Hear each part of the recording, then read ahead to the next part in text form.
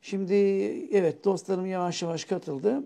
Sevgili hocamı da e, evet kendisi de burada bir davet göndereyim.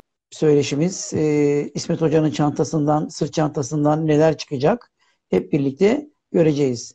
Hoş geldin İsmet Hocam. Merhaba Selmezciğim. İyi akşamlar. Ee, iyi akşamlar. Ee, sevgili dostlarla birlikte yine evlerine konuk olduk. Ee, sanırım bir iki saat süreceğimiz güzel bir söyleşi. Belki bazen tartışma, bazen aktarım, paylaşım, bilgilendirme olacak bu. Öncelikle e, İsmet Hocam sizi bir tanıyalım. E, İsmet Şentürk kimdir? Evet. E, Bursa'dan bizi izleyen herkese sevgilerimi gönderiyorum. Herkese iyi akşamlar diliyorum. İsmet Şentürk kimdir? Bir esnaftır İsmet Şentürk. E, ticaretle uğraştım. Hayatım boyunca kendi işimden başka hiçbir başka farklı bir sektörde çalışmadım. İki yıl öncesine kadar aktif çalışan biriydim. İki yıldan beri kendime e, daha fazla zaman ayırıyorum. Bulgaristan doğumluyum. E, 1968 yılında 11 yaşında Türkiye'ye geldim. E, o günden beri de Bursa'da ikamet ediyorum. Bursa'da yaşıyorum. E, doğduğum yerden gelen yani Balkanlardaki bu e, coğrafyanın yapısından gelen bir doğa sevgisi çocukluğumdan beri bende var. Bu doğa sevgisi zaman içerisinde sadece bir doğada olmak yetmemeye başladı. E, ilk hedefim Kaçkar'la başlayan bir dağcılık yaşamı ortaya çıktı.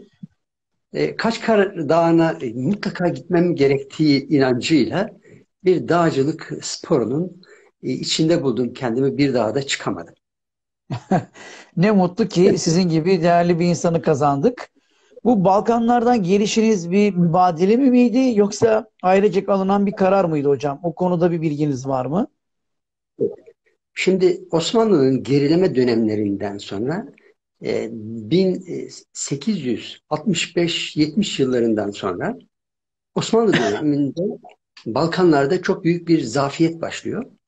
Bizim oradaki Türk nüfusu, oradaki işte Bulgarlar, Sırplar, gibi çeşitli ulusların Yunanlılarda da aynı şekilde e, aşırı baskısı sonucu e, kendi topraklarına geri dönüş dönemine giriyorlar. Bizler de bu süreç 1993 yılın 1893 yılında e, başlayan bu göç süreci biz 1968 yılında göçmen değil de turist olarak gelip bir mülteci olarak Türkiye'ye yerleştik. Ee, tabii ki çocukluk anılarınız unutulmaz. Oradan e, kalan birçok değer, kültürü de e, peşinde getirmişsinizdir. E, akrabalarınız e, var mı orada kalan çok sevdiğiniz komşularınız e, ya da temaslarınız devam evet. ediyor mu? Evet, temaslarımız tabii ki devam ediyor. Arkadaşlarımız da var. E, yani kuzen seviyesinde e, akrabalarımız da var. Ama çoğunun da bir ayağı Türkiye'de. Onun için o Bulgaristan'la Türkiye arasındaki ilişkiler Avrupa Birliği sürecinden sonra çok değişti. Bu süreç zarfında e, artık iki ülke arasında bir düşmanca e, bir süreç geride kalmış oldu. Yani her iki ülke arasında ziyarette çok kolay olabiliyor. Hiçbir problem yok. Anlıyorum hocam. Ee, yani özünde e, doğa sevginiz, e, o yeşili sevmeniz aslında biraz da e, Balkanlardan gelen bir e, kültürle e, burada artık özdeşleşip tavan noktasına kadar gelmiş. Fakat siz e, doğa sporlarına geçişiniz e, spor olarak değil, doğayı sevdiğiniz için biraz keşfetmek, biraz e, gezgin formatınızdan, kişiliğinizden dolayı sanırım oldu. Çünkü 40'lı yaşlardan e, sonra doğa sporların içerisinde olduğunuzu biliyorum. Ama ondan öncesinde daha çok gezgin, e, doğayı seven bir tarafınız vardı. Bu doğa sporlarına geçişiniz nasıl oldu hocam? Bunu öğrenebilir miyim? Bir kulüp mü oldu ya da birileriyle mi tanıştınız? Ben e, 30 yıldan beri Uludağ'ı kampçılık anlamında yaşıyorum kamp yaparak yaşıyorum. Öncesinde bu daha çocukluğumuza kadar bile gidiyor. Yani bizim yaşlı bir dedemiz vardı. Bizi Uludağ'ın yamaçlarında çay taplamaya peşinden giderdik. Oradaki su yollarına çıkar, e, o bölgeleri hep tanımaya çalışırdık. E, yanımdaki arkadaşlarım ormandan korkarlardı. Bazen tek başıma kalırdım ama o doğayı yaşamak isterdim. Hep bir merak vardı. Daha yukarıda ne var? Ormanların üzerinde daha ne var? Hatta kısaca e, bir anımı aktarayım. Sanıyorum 13 13-14 arası yaşlardayım. Bursa'dan bakacak görünürdü. Orada bir ağaç gibi duran e, vericilerin o görüntüsüne Bursa'dan ulaşma isteğimle bakın 13-14 yaşımda yola çıktım. Yanımda da kuzenim var. Dayımın oğlunu da aldım yanıma. Ve gide gide kayalıkların içinden çıka çıka bir ayının ininin önünde durmuşuz. Ee, arkadan gelen ayının kükremesiyle önce birbirimize baktık ne oluyor diye. ee, tekrar edince baktık ki bu ayı ya ve ciddi bir iş ve oradan toplayıp e, işte yiyeceğimizi tabanları Tası yağlayıp geri geri geri koşarak indik. Bu hiç unutamadığım bir çocukluk anımdır. E, sonrasında tabii o bölgeleri artık daha bilinçli yaşamaya başladık. Ne mutlu size. Ee, böyle bir anınız var. Ben de yıllardır doğadayım. Ee, yani dağlardayım. Belki orman kısımlarında çok olmadım. O yüzden bugüne kadar hiçbir e, ayıyla karşılaşamadım. E, izlerini gördüm Uludağ'da falan. E, ya da diğer e, cirolarda kurt falan gördüm. Sürülerini gördüm ama hiç ayı görmedim. Bu bakımdan yani sizi şanslı e, görüyorum. Şimdi İsmet Hocam, e, biliyorsunuz Marmara bölgesinin e, en yüksek noktası Uludağ ve e, siz de en yakın e, ildesiniz. Yani Bursa ilinde Uludağ'a yakın bir e, sporcusunuz, doğa sporcusunuz, doğa seversiniz, dağcısınız. Birçok e, biraz sonra gireceğiz bunlara da tek tek. Şeyiniz var, e, kısımlarınız var. Uludağ'ın önemi sizce bölge için nedir? Neyi ifade ediyor? Neyi çağrıştırıyor? Bu anlamdaki hem yüreğinizdeki hem de e, camia içerisindeki Uludağ kısaca tanımlayabilir misiniz? Evet. Uludağ e, her kişiye göre farklı bir anlam taşıyor mutlaka. Uludağ dediğimizde ilk akla gelen e, işte e, kayak merkezi oluşu, Türk sinemasındaki o romantik filmlerin sahnelerinin Yeşilçam'ın çekildiği, Yeşilçam'ın e, bir e, yani çekim alanlarından, önemli çekim alanlarından birisi diyelim. Ve insanların hayalinde hep e, gitmek istedikleri bir dağ olmuştur. Ama bizim için, mesela örneğin benim için Uludağ daha farklı. Ben Uludağ'ı bu yönüyle değil, ben Uludağ'ı yaşanmayan bölümleriyle seviyorum. Yaşan çok insanlar tarafından bilinmeyen e, yerleriyle seviyorum. Onun için Uludağ e, benim yaşamımda belki de en önemli yer tutan yani ailemden sonra, e, sevdiklerimden sonra en önemli yer tutan yaşamımın olmazsa olmaz bir parçası diyebilirim. Çok güzel. E, biliyorsunuz biz e, İstanbul dağcıları, e, çevredeki diğer dağcıların aslında e, Uludağ ilk e, çıkış yaptığı dağlarından, sonrasında da kulüpler bazında olsun, bireysel bazda olsun antrenman ve eğitim sahalarıdır. E, fakat bu dağın bir özelliği var. E, kışın e, çok çetrefilli bir yapıya dönüşüyor. Yani yazın piknikçisine varana kadar herkes zirvesine ulaşabilirken Kışın e, Marmara'nın tek dağ olması, sisi üzerine çekiyor olabilmesi, Marmara Denizi'nin nemini üzerine çekiyor olması kış şartlarında çok çetin bir cevize dönüştürüyor. Ki bu yüzden de kazaları, kaybolmaları bol bir e, yer. E, yanılmıyorsam e, Nasuh Mariki'nin bir sözü vardı işte. E, Everest'e çıktım, Uludağ'a çıkamadım. Yine yanılmıyorsam Tunç'un işte Everest'te üşümedim.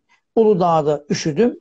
Benim de kendimce bir şeyim var. Hayatımda hiç kaybolmadım. Uludağ'da üç defa kayboldum. Evet. Bu e, özelliği Uludağ bende çok daha değerli kılıyor. Çünkü herkes metraj dağcılığı yapıyor günümüzde. Ve dağların 3000'in altındaysa kıymete gitmeye değer e, görmüyor. O, halbuki ağır kış yapacağınıza e, gelin bakalım e, Uludağ kış yapabiliyor musunuz o çetin şartlarda? diye e, herkesi de aslında e, bunu ben biraz e, gündeme getiriyorum. Sizin düşünceniz nedir bu anlamda? Valla bizim Uludağ için her zaman söylediğimiz bir söz var. Uludağ boyundan büyük bir dağdır. Yani öyle e, sizin dediğiniz gibi rakımla ölçülecek bir dağ değil. Çünkü bulunduğu coğrafik yapı e, konum nedeniyle e, karasal iklimle ılıman iklimin kesişme noktasında bulunuyor ve çok değişken ve çok etkili hava koşulları yaşanabiliyor. E, nitekim bunun bir örneği de geçen yıl orada e, işte nur içinde yatsınlar, Allah rahmet eylesin. O iki genç e, yürüyüşçü arkadaşımızın başına gelenler Uludağ'ın bu sert koşullarının sonucudur. Aynen öyle. E, ama biz yine de Uludağ'ımızdan vazgeçmiyoruz. E, çünkü e, dağlar e, bizim gerçekten hem yaşam alanlarımız hem antrenman yerlerimiz. E, biz dağlara sadece sporsal bazla yaklaşmıyoruz. Bir depar, bir metraj, e, skor atma yeri olarak görmüyoruz.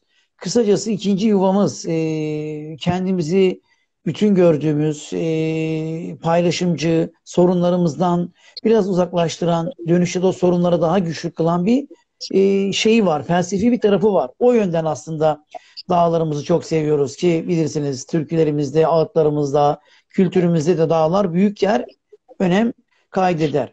İsmet Şentürk de bu çılgınlığıyla yola çıktı. E, şimdi sevgili dostlar 15 dakikayı geride bıraktık. Yeni yeni katılımlar görüyorum. E, bu akşamki konuğumuz İsmet Şentürk. Bursa bölgesinden. E, kendisine Uludağ'ın piri diyoruz. Hatta e, Bursa'nın en aktif dağcısı diye de lanse ediliyor. E, fakat e, benim için asıl önemli olan İsmet Şentürk e, belli bir yaşından sonra hatta yaşıtlarının çoğu e, bu dağcılığı çok önceden başlayıp çok erken zamanda bırakırken İsmet Şentürk herkesin dağcılığı bıraktığı bir dönemde doğa sporlarına girip evet, evet bu çok önemli altını çizerek söylüyorum. Zamanında gençlik yıllarında okulda orada burada bilmem ne aktiviteler, atraksiyonlar gösteren doğayenler, divalar, dağcılarımız belli bir yaş döneminde buradan bırakırken, ayrılırken, emekli olurken ne dersek diyelim hayat koşulları. Ama Bursa'dan İsmet Şentürk diye biri çıkıyor herkesin bıraktığı bir yaşta alıyor ve dolu dolu bir 20-25 yıl e, ilk Türk tırmanışlarından ilk e, tırmanışlara kadar, denemelere kadar e, dağcılığın her alanında e, bir gözü karalık görüyoruz. Öncelikle İsmet Şentürk bir macera pres midir? Bunu bir öğrenelim. Yapısını, yapınızı bir öğrenelim. Sizi bir tanıyalım.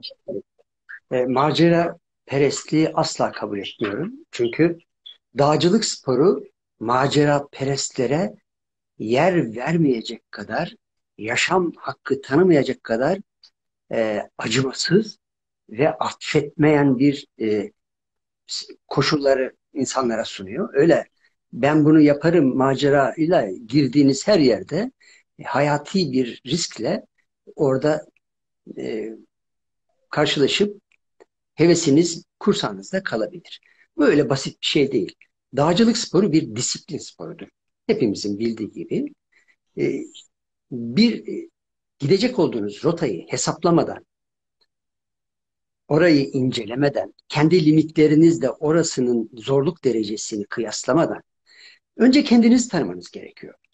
Benim hayatımda bugüne kadar yaptığım her şey kendi limitlerim çerçevesindedir.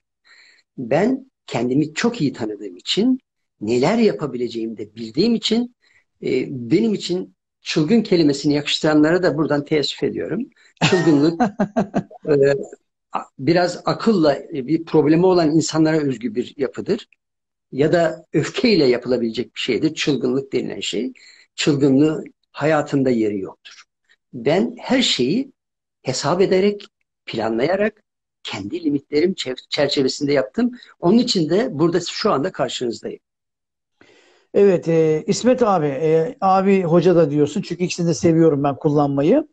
E, aslında buradaki çılgınlık bence e, delilik, e, sorumsuzluk anlamında değil de e, gözü karalığınız, e, böyle yeni e, eylemlerdeki ilk adımınız. Yani bana birisi İsmet e, Şentürk kimdir dese aslında çılgınlığı e, başıboşluk, disiplinsizlik anlamında değil de evet e, şeydir, değiştiktir, e, ilericidir, ataktır, girişkendir diye algılarım.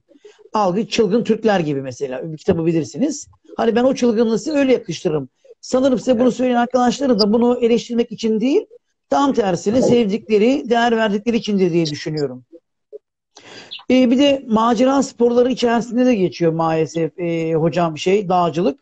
Ama bu macera demin sizin belirttiğiniz gibi altını çizdiğiniz o kurallara uymak, disipline uymak ondan sonra o girişimcilik ruhunun belki de adı maceracılıktır. Yoksa e, başıboşluk anlamındaki bir hayalperestlik olmadığını e, buradaki arkadaşlar da biliyordur. E, bakın alttaki yorumlardan sizin bu konuda önce olduğunuz da dile getiriliyor. Bence e, bu şeyler, atıflar sizin için e, güzel doneler. E, ben e, bu şeyinizi, öncülüğünüzü kabul eden camianın da e, yanınızda olduğunuzu bilmeni istiyorum. Çünkü şimdi siz e, Türkiye Dağcılık Federasyonu içerisine de çok e, sonra girdiniz ama yine de tam anlamıyla içerisinde bulunmadınız. Çünkü evet. e, dağcılığın e, bir e, özgür ruh e, biçimi ve tarafı var. E, belki kitleler halinde böyle 200-250 kişi e, zirveye gitmek yerine siz e, bazen solo, bazen bir iki arkadaş, küçük bir ekibinizle hep gitmeyi yeğlediniz. Bu tarif doğru mudur? Öncelikle bunu bilgileyelim. E, federasyon anlamında söyledikleriniz doğru. Ve benim e, dağları yaşama biçimime e, federasyon içinde e, o yönetimlere yakın olma benim karakterime uymuyor. Ve ben hiçbir zaman Dağcılık Federasyonu içerisinde e, olma arzusunda olmadım. Bu şekilde bir yaklaşım içine girmedim. E, çünkü biraz da bencil bir insanım. Kendimi yaşamayı çok seviyorum. Orada görev alan insanları da çok takdir ediyorum. Çok özveriyle yani çok takdir ediyorum. Çünkü o insanlar kendi yaşamlarından veriyorlar. Ben e, siz en başta anlattığınız gibi dağcılık sporuna geç girdiğim için benim çok zamanım yok. Benim kendi hedeflerime yürümem gerekiyordu. Onun için ben e, daha çok e, kendi e, dağcılığımı kendimi yaşadım. E, ve birçok başarıya da imza attınız. Yani sizin e, Orta Doğu'dan Afrika'ya, oradan Alplere, e, Kafkaslara, Balkanlara yaptığınız yolculuklarda e, birçok e, Türkiye'de e, gidilip de bilinmeyen dağlara, zirvelere, rotalara girdiğinizi biliyorum. E, mesela bunlardan sizi en çok etkileyen, en çok hayranlık uyandıran bölge ya da dağ rotalar nelerdi hocam? Biraz bunları da aktarabilir misiniz? Evet. E, bir kere en çok etkilendiğim bugüne kadar ki tırmanış yaptığım bölgelerde Alplerdir. İşte İtalya, İsviçre, Fransa üçgenindeki bu Alplerin merkezi diyebileceğimiz bölgeler e, buraları ben bütün e, özellikle genç arkadaşlarımızın mutlaka aşamasını görmesini, buralarda tırmanış yapmalarını tavsiye ederim. Hatta ilerlemiş yaştaki insanların bile bu bölgelerde yürüyüşler, buzullarda yürüyüş yapma imkanları var, trekking alanları var binlerce rotalar var. E, mutlaka herkes bu Alpleri görmeli. E, Alplerin yerine koyabileceğim hiçbir yer olmadı bugüne kadar. E, çünkü Alplerde e, sizin istediğiniz seviyede zorluk dereceleri var. Bu e, açıdan yani Alplerde e, bir buçuk saat yürüyerek buzullara ulaşıyorsunuz. Dünyanın hiçbir yerinde böyle bir yer yok. Yani Alplerin önemi buraya burada anlatmak da bitmez. Oradaki yapılabilecekleri e, sadece e, bütün arkadaşlarımıza, camiamızdaki e, dağcı sporcusu arkadaşlarıma tavsiyem Alpleri araştırsınlar, keşfetsinler, gitsinler, orayı yaşasınlar diyorum.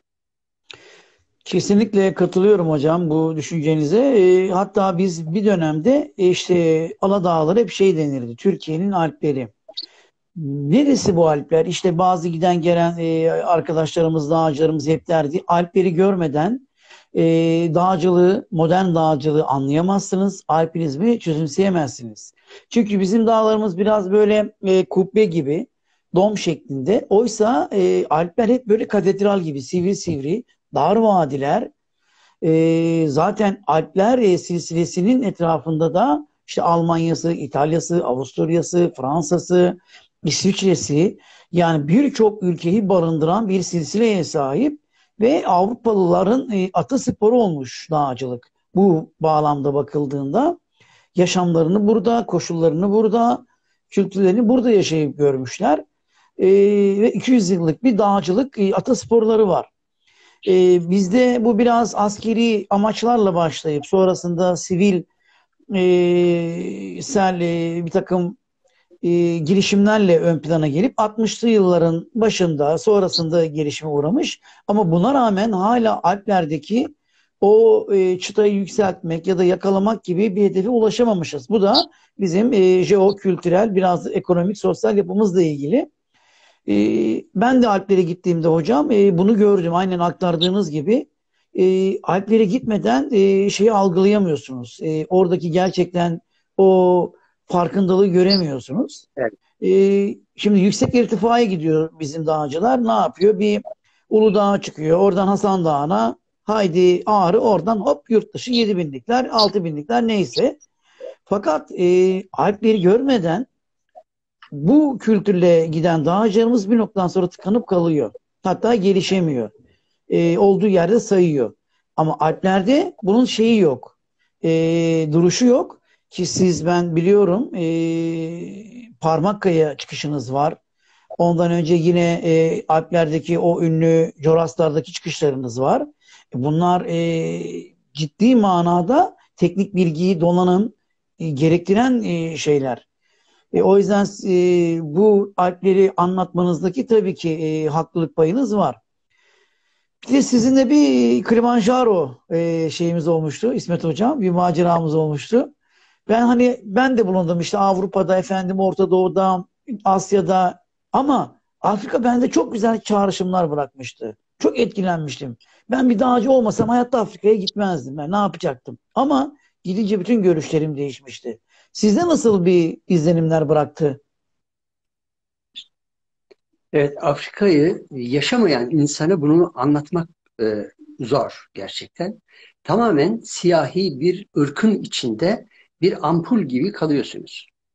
Ve o toplumun, o kültürün içerisinde kendinizi çok farklı hissediyorsunuz. Aslında daha önce sadece işte sinemalarda, televizyonda gördüğünüz insanların aslında ne kadar medeni olduğunu, ne kadar e, insancıl olduğunu görünce e, bu ırkın da aslında bütün insanların tek bir e, meyveden meydana geldiği sonucuna e, iyice inanıyorsunuz.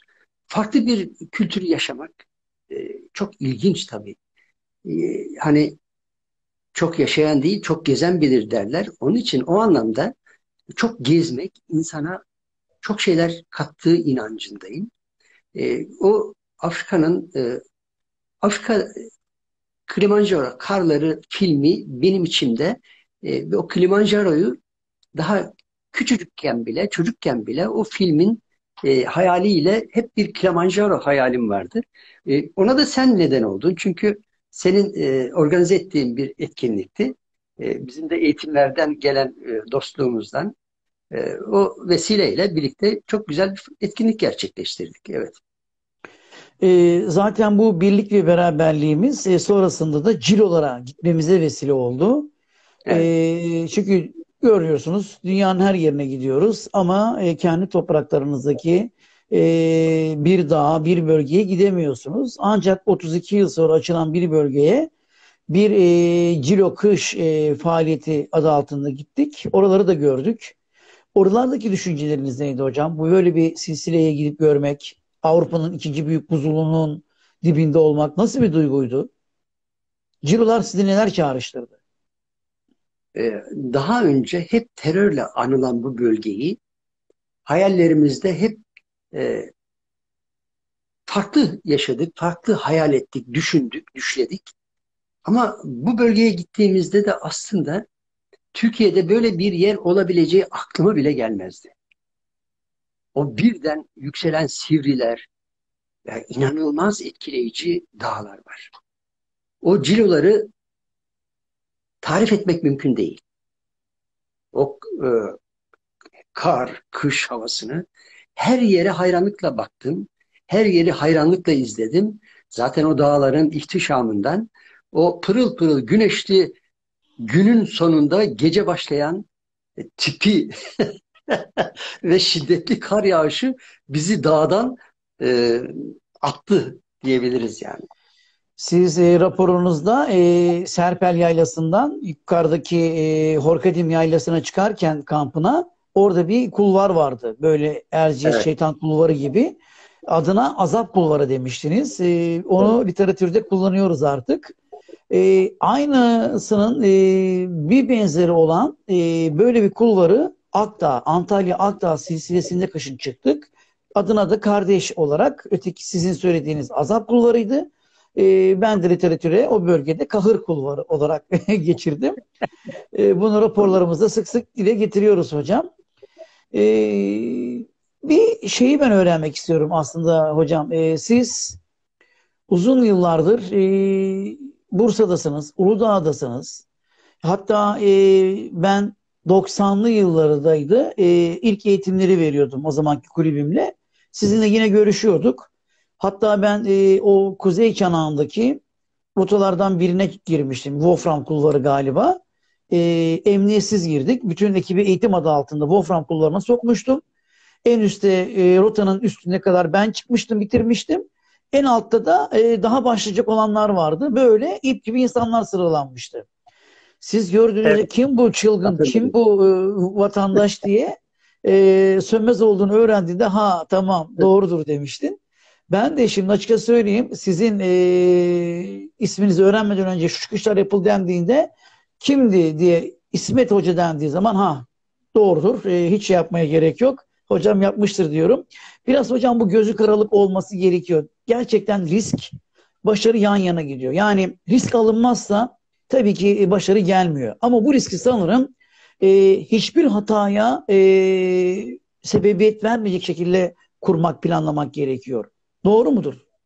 Doğru. Tabii ki. Şimdi ben seni o kulvarda gördüğümde arkandan gelen neredeyse 8-10 kişiydiniz. Biz de kar e, çukurunda tırmanış yaptığımız bir hafta sonuydu sanıyorum. Yani ilgimi çekti ve siz balkonu delerek çıktınız. O dönem bayağı bir kar e, yığılmıştı. Balkon yapmıştı. Kulvarın üstü, Evet. rotanın E, üstü. yan sola geçip e, oradan çıkma imkanı varken siz balkonu delerek çıktınız. E, ilgimi çekmişti. Hatta seninle konuştuktan sonra o bizdik diye oradan sen de olayı e, doğrulamıştın. Evet hocam. Şimdi e, konu, konumuzu dağıtmayalım. Kon- konuştuğumuz konu neydi? Ç- neydi? konularımız çok hocam. Daha çok konularımız var. Merak Anladım. etmeyin. So- E, Sizden sonra heh, konuştuğunuz o e, şeyden sonra sorduğunuz bir soru var. sonra. Sizin çıkışınıza girdim de. He, ya Uludağ şu, e, Çanak'ta e, siz de çıkışlar yaptınız. Bir sürü çıkışlar Evet. gündeme getirdiniz. E, hepsinde çıktınız sanırım bildiğim kadarıyla. Yani e, şimdi her gün yeni rotalar da açılıyor. Bunların hepsini çıkmak da mümkün değil tabii. Ama ana hatlarıyla benim de çıktığım yerler var. Hatta ilk defa 2004 yılında e, Darbeci General diye bir yerleri diyorlar ama sanıyorum yani tam olarak bu rotaları ben hiç e, kitaplar üzerinden incelemedim, incelemiyorum. Yani bunu yapabilen insanları takdir ediyorum ama benim böyle bir huyum yok. O bölgede ilk çıkışı yapmıştım. Korkut Güven'in de olduğu. Aşağı free solo e, çıktım e, rotayı. Sonrasında hep e, rotalarda bir bir çıktım ama benim genellikle rotaları çıkışım free solo olmuştur ya da free olmuştur. Bizim o çıktığımız dönemlerde insanlar hep iple, emniyetli olarak çıkıyorlardı. Bu özgüvenin de bence nedeni rotaları e, bilmek, anlamak ve siz kendi e, becerinizle o rotaların çıkılabileceğine olan inançla bunu yapıyorsunuz. Tabii ben o zamanlarda çok fazla mix alanlara girmedim. hep daha çok kar kulvarlarından çıkmaya çalıştım. E, zaman zaman sürprizler de yaşamadık değil tabii. Yani karın sığ olduğu zamanlarda. Ee, hocam şimdi burada aldığınız bir risk var. Ee, aslında bu biraz da o sizin şeyinizden geliyor. Girişimci ruhunuzdan ya da e, maceracı ruhunuzdan. Macera perest demeyelim de maceracı diye şey yapayım tanımlayayım. Ee, peki çevrenizde e, bu anlamda uyarı aldınız mı? Yani e, tepki aldınız mı? Ya ne yapıyorsun? Kaç yaşında adamsın? Elin ayağını kırarsın. Sen de herkes gibi bisiklete bin, koşunu yap, yürüyüşünü yap gibi çağrışımlarla evet, karşılaştınız mı? Hani e, belanı mı arıyorsun diye insanlar size size yanlışta bulundu mu? E, yüzüme karşı çok olmasa da beni en çok eleştiren camiamızdan olmuştur. Çünkü e, maalesef camiamızda bana karşı bakışta böyle bir o adam mı bırak şu çılgını gibi bir bakış açısının olduğunu biliyorum. E, bu beni hiç etkilememişti. Çünkü ben e, kendimle yarışan bir insanım. Bir insan düşünebiliyor musunuz? Başkasına, başkasının için bir tırmanış hayatını tehlikeye atabilir mi? Ben hep kendimi aşma çabası içinde oldum. Başkalarının e, bana yakıştırdıklarının hiçbir şeyi e, ben hiç umurumda değil. E, her şeyi yakıştırdılar bana. Ee... Ama bu çılgınlık işte ne dersen de hatta çok fazla kullandığım bir şey vardır. Ve doğru değil tabii böyle olması ama maalesef yani başıma dağlarda değil insan yürürken yolda bile bir kaza başınıza gelebilir. Öyle çok güzel hocam. Tabii çok benim güzel. Başıma da, benim başıma da bir olay gelse sevinecek çok insan olduğu kanaatini hep taşıdım üzülerek taşıdım. Yani keşke böyle düşünmesem ama arkamdan söylenenler beni bu düşünceye sevk etti. Maalesef böyle ama ben yolumdan yürüdüm. Ee, Hocam yani ben şunu da savunuyorum, sizi anlıyorum. Ee, aslında kendinizi biliyorsanız, kendi o yetkinliğinize sahipseniz bence e, meyve veren ağaç taşlanır. E, sizi çekiştirenler, kıskananlar e, olacaktır. Yani bizim e, Anadolu toplumunda kültüründe maalesef böyle bir şey yerleşmiş. Mesela Japonya'da en küçük bir başarınızda hemen sırtınızı popohluyorlar. Bravo, iyi yaptın, süper yapsın, devam et. Kardeşim, yoldaşım diye seni ön plan atarlar. E, ve o insan daha bir şevkle, motiveyle karışır. Bizde ise tam tersi. Ya küçümseme, ne var ben de yapardım. Ne olmuş ki? Ya o deli, onun ipiyle kuyuya mı inilir, onun ipiyle tırmanışa mı yapılır bilmem ne diye hep baltalama, karalama e, korkma var. Ama bunları ben insanların bilinçli olarak yaptığını, art niyetli yaptığını değil de kültürümüzden geldiğini düşünüyorum. Mesela biz çocuk yetiştirme de bu hatayı yapıyoruz. İşte çocuk e, biraz böyle eli ayağı sendelediği zaman hemen üstüne banıyoruz. Hemen onu koruma, kollama artık eşek kadar oluyor. Baba oluyor, ana oluyor. E, torun torba sahibi oluyorsun. Hala ona çocuk muamelesi yapıyorsun. Halbuki ben gelişmiş toplumlarda bakıyorum çocuk yetiştirmeye, o kültüre. E, ki bir yerde bağlı yıllarda karşımıza geldi. Çocuk düştü. Bizim bütün hatunlar ya da çevredeki arkadaşlar aman hayır dedi kadın. Sakın dedi çocuğuma dokunmayın. O düştü gibi kalkacak. O yaşamı kendisi öğrenecek dedi. Ee, ve millete güzel bir ders verdi. Bizde maalesef bu kültür e, bu şekilde korumacılık, sahip çıkmacılık, aman otur e, mantığı devam ediyor ki aynı mantık devlet büyüklerimizde de var. Bugün Uludağ'a yapılan kısıtlamalar, uygulamalar artık Türkiye genelini kapsadı. Dağa çıkmak izinle olacak. Dağa çıkmak yasaklanmalı çünkü kazalar oluyor. Dağa gitmeyin. Biz sizin can güvenliğiniz için, sizi korumak için genel genel çıkardık. Kurallar çıkardık. ilkeler çıkardık. Oturun oturduğunuz yerde başınıza iş çıkarmayın. Siz bizim için değerlisiniz modunda böyle bir şeyler çıkıyor. Bunu ikinci bölümde e, İsmet Hocam gündeme getireceğiz. Şu an 40 dakikaya geride bıraktık. Bayağı da hızlı akıyor. Arkadaşlarımız da gayet ilgiyle e, devam ediyor. Şimdi bunlara geleceğiz bu Uludağ ve Ülken gerçeğindeki bu yasaklamaları, engellemelere. E, ben evet. sizi biraz daha tanıtmak istiyorum camiasımıza. Tabii ki tanıyorlar, biliyorlar sizi. Bakın burada e, sizi o eleştirenler, sizi çekiştirenler yok. Biz sizi aldık yayına. Demek ki yaptığınız e, şeyde e, yolda doğru yoldasınız. Tabii ki her insanın kendi tarzı, üslubu, tekniği, stili farklıdır. O kişiyi bağlar. Bunları kalkıp kimse eleştiremez. Dünyada da böyledir. Siz diyor kendinize göre e, bir stil belirleyin, bir yaşam biçimi belirleyin ve arkasında durun. O zaman istediğin şekilde ilerlersin. Kimse sana o zaman kulp takamaz. Eleştiriler yapıcı olmadığı sürece hiçbir dayanağı yoktur. Hiçbir ayaklarını yere basan tarafı yoktur. O yüzden yapıcı eleştirilere her zaman açık olacağız ama diğerlerini maalesef şey yapmayın. Dediğim gibi meyve veren ağaç taşlanır. Ee, bir de hocam e, sporumuz biliyorsunuz e, bireysel bir spor. Ego sporu. Ve insanlar bu egoyu barındırıyor içerisinde. Ee, yoksa herkes takım sporlarıyla uğraşırdı. Ve bizim dağcılığımız da bireysel olduğu için egoyu getiriyor peşinde. Fakat bu ego bencilliği doğurmamalı. E o egoyu terbiye etmeliyiz, kontrol etmeliyiz. Siz bunu nasıl başardınız? Evet. Bunu başarmak öncelikle kendi sınırlarınızı bilmektir. Yani bir dağcı önce kendini tanımalı. Kaç derece kaya tırmanabiliyorum? Ben e, kar, buz, eksi kaç derecede hayatımı idame ettirebilirim? Karlı bir ortamda, zor koşullarda nasıl barınabilirim? Tehlikeleri bilerek, kendinizde tanıdığınızda burada kendinizi bir yere koyarsınız. Buna yönelik planlar, programlar yaparsınız. Yani ego kendini tanımayan insanların e, o sınırları aşmasıyla ortaya çıkar. Ve tehlike oradadır zaten. Ben bugüne kadar koyduğum hiçbir hedefi başaramadan geri dönmedim. Bütün bugüne kadarki hedeflerimi kendi ölçülerimde koyduğum hedeflerimi, kendi sınırlarımda koyduğum hedeflerimi e, bugüne kadar başardım. Daha üstünde de gözüm olmadı. Çünkü ben kendimle yarışıyorum.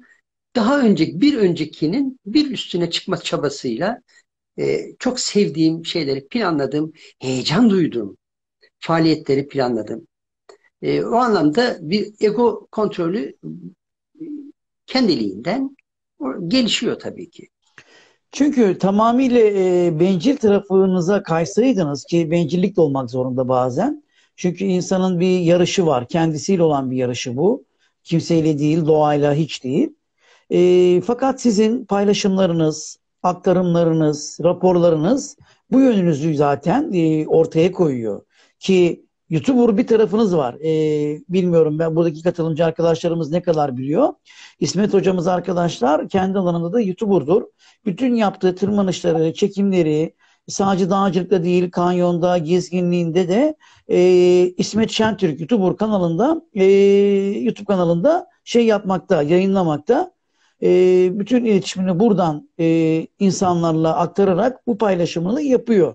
Ki raporlarında da dile getiriyor. Ve e, mesela özellikle Alplerdeki çıkışlarınız gerçekten tek tek raporlanıp e, bence e, ülke dağcılarının bir an önce buralara gidip tekrarlarını yapmaları gerekiyor. Yani Matterhorn'un, e, Wimper'ın, efendim Kozmik rotası Mont Blanc'ın ondan sonra devin dişleri rotaları, Grandalar e, bunlar e, çok önemli çıkışlar. Mesela e, ben de gittiğimde bir dönem üst üste gidiyordum hem Matterhorn hem e, ilk Türk tırmanışı olan e, Jungfrau tırmanışı. Jungfrau'ya çıktığımda dedim bir şey daha yapayım dedim. Seneye de geleyim Dom'u çıkayım. İsviçre'deki evet. en yüksek dağ Dom'u çıkayım. İlk Türk tırmanışını yapayım burada dedim. Hani kayıtlarda evet. bulamadım. E, fakat bana bir teklif geldi. Dediler İsviçre'de bir dağ daha vardı. E, Matterhorn'dan bir diş, iki diş daha zor. Orayı dene dediler. İsim vermeyeceğim çünkü bu benim projem. Araştıranlar bilir. E, gittim o bölgeye ve oradaki rehber e, ay geri çıkan bir rehber. E, genelde bütün rehberler ay geri çıkmış oluyor. E, çünkü o yüzden e, onlara bu ünvan veriliyor. Bize şöyle bir baktı. Daha evinde kalıyorduk. E, siz dedi doğru yere geldiğinize emin misiniz dedi. evet dedik ki buraya çıkmaya geldik. E, Türksünüz değil mi dedi. Evet e, Türkiye'den geliyoruz. İlk defa bir Türkiye'den gelen bir grup görüyorum dedi bu dağda. Ee, ve ben 40 yıldır bu rehberim dedi burada. Ama bu dağ başka bir yer dedi. Yani bir yere benzemez. Nereye çıktınız dedi. Ben de işte Matterhorn, işte Mont Blanc, e, 7000'likleri falan anlattım. Şöyle biraz durdu.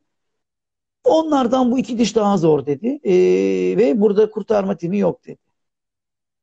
Hiçbir yerde e, Via Ferrata yok. E, kimse sizi kurtarmaya gelmez dedi. Ona göre daha çıkın dedi. Dağa denedik. E, dağdan o sırada girerken bir grup iniyordu. E, Estonyalı bir gruptu sanırım. Uşba'ya çıkmışlar. Gelmişler buraya çıkıyorlar. Düşünün daha Uşba'ya Türkiye'de çıkan ekip yok. Denendi. Hava şartları evet. belki uygun olmadı. Ya koşullar el vermedi. E, bu adamlar geliyorlar bir de buraya çıkıyorlar. E, sakın girmeyin dedi. Çok tehlikeli biz e, zor canımızı kurtardık. E, havanın çok daha stabilize olduğu bir zamanı kollayın dedi. E, zaten biz girdiğimizde rotaya sis tipi başlamıştı. İndik. Başka bir e, tırmanış yaptık. Yakınlardaki başka bir e, kuleye çıktık. Dom da aklımdaydı. Domu da yapacağım yapacağım diyordum. Bir de duydum ki İsmet Hoca Dom'un ilk çıkışını yapmış. ilk Türk çıkışını yapmış. Değil mi? Benim bildiğim kadarıyla Dom'a daha önce çıkılama yok. Mesela evet. Brighton var. Brighton'a ben de çıktım ama önceden Batur Kürüs falan oralara gitmişler. Çıkmışlar onu biliyorum. Ee, peki bu çıkışlarınızda ne aradınız? Yani ilk Türk tırmanışı mı olsun? Yahut da e, burasını gözüme kestiriyorsun ya da rotaya bakıyorsun. Evet ben burayı yapabilirim. E, deyip mi giriyorsun hocam? Nasıl oluyor? Senin yoksa ekibinle birlikte gidiyorsun da onlar mı yönlendiriyordu? Alplerdeki bu rota tercihlerini nasıl yapıyordun? Evet. E, Alplere ilk gidişim e, Matterhorn ve Mont Blanc yapmak üzere bir programdı. Her ikisini de yaptıktan sonra Aguyu Ver Aguyu Midi Aguyu Midi e, zirvesinden teleferikte çıktığımız zirvesinden dağları izliyoruz. Orada Aguyu Vert, Verte zirvesini görünce dedim ki buraya çıkmamız gerekiyor.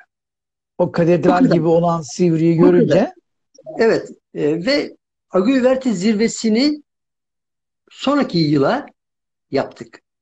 E, böyle çok spontane gelişiyor. Mesela Agüivert zirvesine çıktık. Agüivert'in zirvesinden büyük Joraslar karşımızda.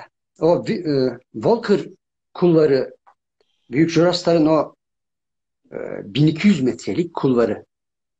Volker kullarını görünce bu Jorasları bu Jorasları çıkmalıyız seneye diye ondan sonraki programımızda Joraslar oldu. Ve e, Yine Agu Midi zirvesinden devin dişini gördüm. Bu devin dişine çıkmalıyız da başladı. Her şey böyle gelişti. Yani bir yıl gittiğimiz zirvede bir dahaki yılın programı ortaya çıktı. Böylelikle sonra e, dom konusu da şöyle oldu. İsviçre'deyiz ve İsviçre'nin en yüksek tepesine çıkmalıyız dedik. Ve e, özellikle Peki, ilk Türk, Türk tırmanışı arayışıyla değil de e, bu şekilde gelişti ve e, burada da e, bu zirvelerin bazıları da ilk Türk tırmanışı oldu. Dolayısıyla. Evet, e, şeyinizi biliyorum, e, dağcılık felsefenizi biliyorum. Aslında e, amacınız skor değil. Yani işte ilk çıkan Türk, ilk çıkan Müslüman gibi terimlerin peşinde değilsiniz. Zaten e, bu da dağcılığın biraz şeyine, e, ruhuna biraz aykırı gibi artık lanse ediliyor. Bir dönem modaydı. E, bilinen belli başlı dağcılarımız e, ilk Türk çıkışları, ilk Müslüman çıkışları diye adlandırarak aslında o işini boşaltıyorlardı. Sanki bunu bir yarışa skora çeviriyorlardı. Tabii evet. ki bir şeyin ilki olmak güzel ama bırakın o orada kalsın. Bunu çok e, lanse etmek, dile getirmek ne bileyim e, sanki dağcının ruhuna aykırı gibi geliyor. E, keşke ay geride görseydin hocam. Keşke Jungfrau'yu, Mönş'ü buraları da görüp buraları da e, denemeler yapmanı isterdim. E, gerçekten ben de e, Matterhorn'dan sonra gittim Ayger'in dibine şöyle bir baktım baktım 2000 metrelik bir duvar. Burası beni aşar dedim. E, bir yıl sonra kendimi Ayger'in dibinde buldum. Ve e, ondan sonra e, Jungfrau rotasının e, yolculuğu başladı. Bir sene sonra yine gittim. Yine aynı bölgedeyim. Tabii bu arada hep e, Türkiye'den dağcılara rastlıyorum. İşte rahmetli Emrah Oz, Özbay e, hep karşılaşıyorduk. Birkaç grup daha vardı. Onlarla da karşılaşıyorduk. E, ve böyle bir şey oldu. e, güzellikleri de oluyor. Yani ülkendeki insanları göremediğin, bulaşamadığın insanları kalkıp orada denk geliyorsun. Ki mesela Matterhorn'a giderken Esin Andal'da e, denk gelmiştik. O da Mont Blanc'ı yapıp e, buraya gelmişti. Benim Alplerde ilk çıktığım yer Matterhorn'du. Ve biliyorsunuz yani Everest'e çıkan kişi sayısı ülkemizde 20 iken Matterhorn'da sanırım 10 bile yok hala. Ee, aslında bu teknik dağlara e, insanların bu yüzden gitmesini istiyoruz. Geliştirmelerini. Ve sizin de parmak kayanız var. Ee, parmak kaya yani her e, ülkenin dağcısının, tırmanışçısının hayalindeki olan gelenekselci yönü de zengin olan insanların parmak kaya sevdası. Nereden geldi aklınıza parmak kayıda çıkmak? Alplerden sonra mı? Öncesinde mi? Nasıl oldu? Devin dişini 2016 yılında 3 arkadaş programımıza aldık. Dentu Genti. İtalya Cormaio üzerinden devin dişine çıktık. Torino Dağ Evi'nden e, devin dişi rotasına girdik. Ancak iki arkadaşımın da e, tırmanışta e, havlu atmasıyla e, kayada yalnız kalıp e, oradaki tırmanışı riske atmamak için geri dönmek zorunda kaldık. Ve ben 2018 yılında devin dişini yine e, gittim ve bu defa e, devin dişini yaptık. Ama şimdi benim e, dağcılık yaşamımda koyduğum her e, hedefe yönelik öncesinde hep bir antrenman hayatım vardır. Yani bütün dağcılar da böyledir genel olarak ama ben çok daha öncesinden antrenmanlar yapmaya başlarım. Öncesinde e, devin dişiyle e, parmak kaya arasında çok fark olmadığı düşüncesiyle önce bir parmak kayada bir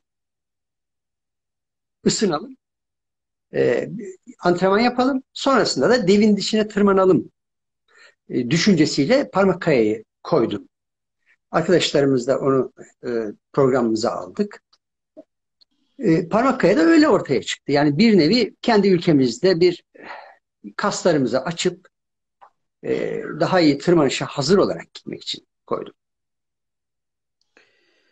Çok güzel. E, parmak malzeme kullandınız mı? E, sikkeler ne durumdaydı? Çünkü ben oraya en son 2006'da çıkmıştım. E, bayağı bir sikke vardı. Hiç malzeme kullanmadan takarak gitmiştim. E, şimdilerde onlar söküldüğünü büyük bir kısmının. E, kum saati vardı. Onun kırıldığı. Balkonda bazı şeylerin yer değiştirdiği söyleniyor. Sizde böyle bir sıkıntılar, zorluklar yaşandı mı hocam? Parmak kaya çıkarken? Parmak kaya e, en kolay çıktığım tırmanışlarımdan, en kolay yaptığım tırmanışlarımdan birisi diyebilirim. Demek ki ya e, kaya çalışmalarımı, e, kaya antrenmanlarımı iyi yapmışım herhalde. Sadece o kilitte, mesela parmak kayayı e, gitmeden önce e, bir tane kilidi var zaten. Genellikle kilidi var. bir tane kilidi var. Evet, o da e, hazır olan birisi için e, çok zor değil. Ben, yani evet. E, parmak kayada bütün... Kaç işte, saatte çıktınız hocam? Rekor bendeydi de bir öğreneyim bakayım. Kaç saatte çıktınız? Şöyle. E, benim yanımda iki arkadaşım daha vardı. Onun için saati bu çok oyalıyor bizi tabii. Yanındaki evet. arkadaşlarını da hep birlikte tırman. Üç kişi tırmanmak farklı, iki kişi tırmanmak farklı, dört kişi tırmanmak biliyorsunuz süreyi uzatıyor bunlar. Ya inanın e, Parmakkaya'da biz bir talihsizlik yaşadık. Bir de onu da anlatayım. Buyurun hocam. E, bu arada e, son 8 dakikaya girdik. Hızlandıralım. E, bir saatimiz bitmek üzere. Sonrasında ikinci bölümden devam edeceğiz. Buyurun. İki arkadaşım aşağıda kaldılar. Boyunda kaldılar. E, ben e, tırmanışı yapıp inmem gerekiyordu. E, çıktım tırmanışımı yaptım. İnerken ipin topacı o kayaların arasına sıkıştı. Orada hep raporlarda bir uyarı vardı. Ya ya uyarı vardı ama yan tarafa atmak daha riskli geldi. Acaba pandül yer miyim? Beni sağa yani e, diğer tarafa savurur mu? Düşüncesiyle endişelendim ve ortadan attım ipi. Meğer bütün sorun e, oymuş. Ben de onu e, maalesef e, göze almakla, oradan atmakla zaten bu riski ortaya çıkmış oldu. Ve biz aşağıda üç kişi ipe bağlandık. Kendimizi atıyoruz. O topaç oradan kurtulmadı. Sonunda e, ipi kestim. Çıktım yukarıya. Olabildiğince hmm. yukarıdan ipi kestim. Orada gecelemedik. Gece karanlıkta indik. E, aynısı bizim de başımıza geldi hocam. E, ben rekor bir seviyede çıktım o dönem hiç malzeme kullanmadan. E, yani oradaki mevcut malzemeleri ekspres takarak gittim. E, 3 saatten e, daha kısa bir sürede bitirdim. 9 saat inemedik. Galiba e, zamanlamamız doğru. 2 saatte biz boyuna geldik. 3 kişi 2 saatte boyuna geldik. Sonrasında da sanıyorum 1 saatte yukarıya çıktım.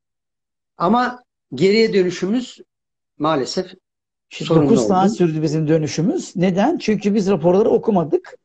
Ee, ipi 60 60 attığımız için dedik ki hemen iki şeyini ineriz e, inişte fakat orayı böyle 25-25 inmek gerekiyormuş. Yani çünkü yüzeyinden dolayı ipi tutuyor ve e, şey yapmıyor. Topaç oluyor ve e, ipi çektiğiniz zaman da geri gelmiyor.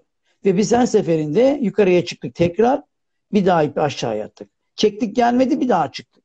Bir daha açtık. Düşünün yani şeyi parmak kayı defalarca inip çıktık yani. İnişi böyle bitirebildik. Hatta Evet. bununla ilgili bir rapor yazmıştım. Çok geç kalınca arkadaşlarımız, alt ekibimiz merak ediyor. O dönemin jandarmasını, işte efendim Akut'un hepsine haber veriyorlar. Bir operasyon gerçekleşiyor. Tabii biz e, en son akşam işimizi bitirdik. Gece 9 muydu 10 muydu ne geldik bir baktık kara şey sarı Mehmetler kaynıyor. Askeri orada, ekipler orada. Gittim komutanın yanına. Ne yapıyorsunuz burada işte komutanım? Dedi iki tane dallama dedi duvarda kalmış onları indireceğiz. E, neden indirmiyorsunuz? E çünkü biz oraya çıkamayız. E, o dallamalar biziz dedim. Öyle bir şeyimiz olmuştu. Anladın Sonra ben bunu raporladım, yazdım. Bu anlamda da güzel e, bir şey olmuştu. E, işte rapor okumak gerekiyor. Biz okumadan maalesef direkt gözü karalıkla girmiştik. E, fakat sonrasında inişin daha önemli olduğunu gördük. Bu arada İsmet Hocam e, son 5 dakikaya girdik. İsterseniz yayını burada keselim. E, ikinci şeyimizden söyleşimize devam edelim. E, Tamam. güzel bir yayın. E, enerjisi çok güzel. e, güzel. Katılım iyi. E, sevgili dostlar hiçbir yere kaybolmayın. 5 dakika sonra e, bu şeyi kaydettikten sonra konuşmayı 5 dakika sonra sisteme yeniden gireceğiz. E, İsmet Hocam'ı yeniden yayın alacağım. Kaldığımız yerden devam edeceğiz. Hiçbir yere kaybolmayın. İsmet Hocam'la dolu dolu e, dağcılık ve söyleşilerimiz devam ediyor. Görüşmek üzere. Görüşmek üzere.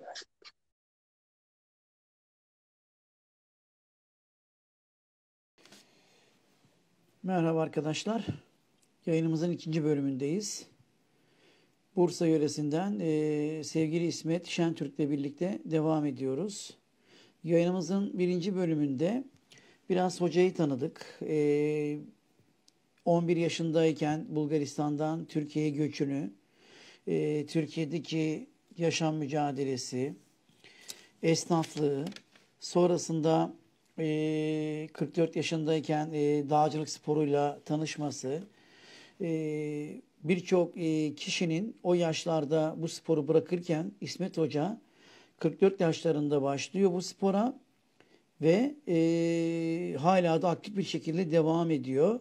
Hem de öyle klasik bir dağcılık değil, yani yürüyüş, e, çıkış anlamında değil, bildiğiniz tırmanış e, ekolünü, tırmanış stilini benimseyerek e, gerek karda, buzda, kayada yapıyor ve ülkenin sınırlarına çıkıyor. Ülke dar gelince Afrika'sı, Orta Doğu, Balkanları, Alpleri, Kafkasları hepsinde hocamız e, büyük bir e, şeyde bulunuyor, e, çalışmada bulunuyor. Özellikle sevgili Ömer e, konuştuğumuzda Sönmez demişti. Batılı dağcıların bile Alplerde çok az uğradığı yerlerde son dönemlerde ülkeden dağcıların gelip katılması e, gerçekten bende de ilgi uyandırıyor demişti. E, Biz o dönemde sık sık e, Alplere gidiyorduk. Ben daha çok İsviçre Alplerini tercih ediyordum. Ama e, İsmet e, abimiz hem e, Fransa, İsviçre, İtalya silsilesinde birçok güzel ve değerli çıkışlar yaptı. Bu çıkışlarla birlikte de e, bunları camiayla paylaştı, camiaya aktardı.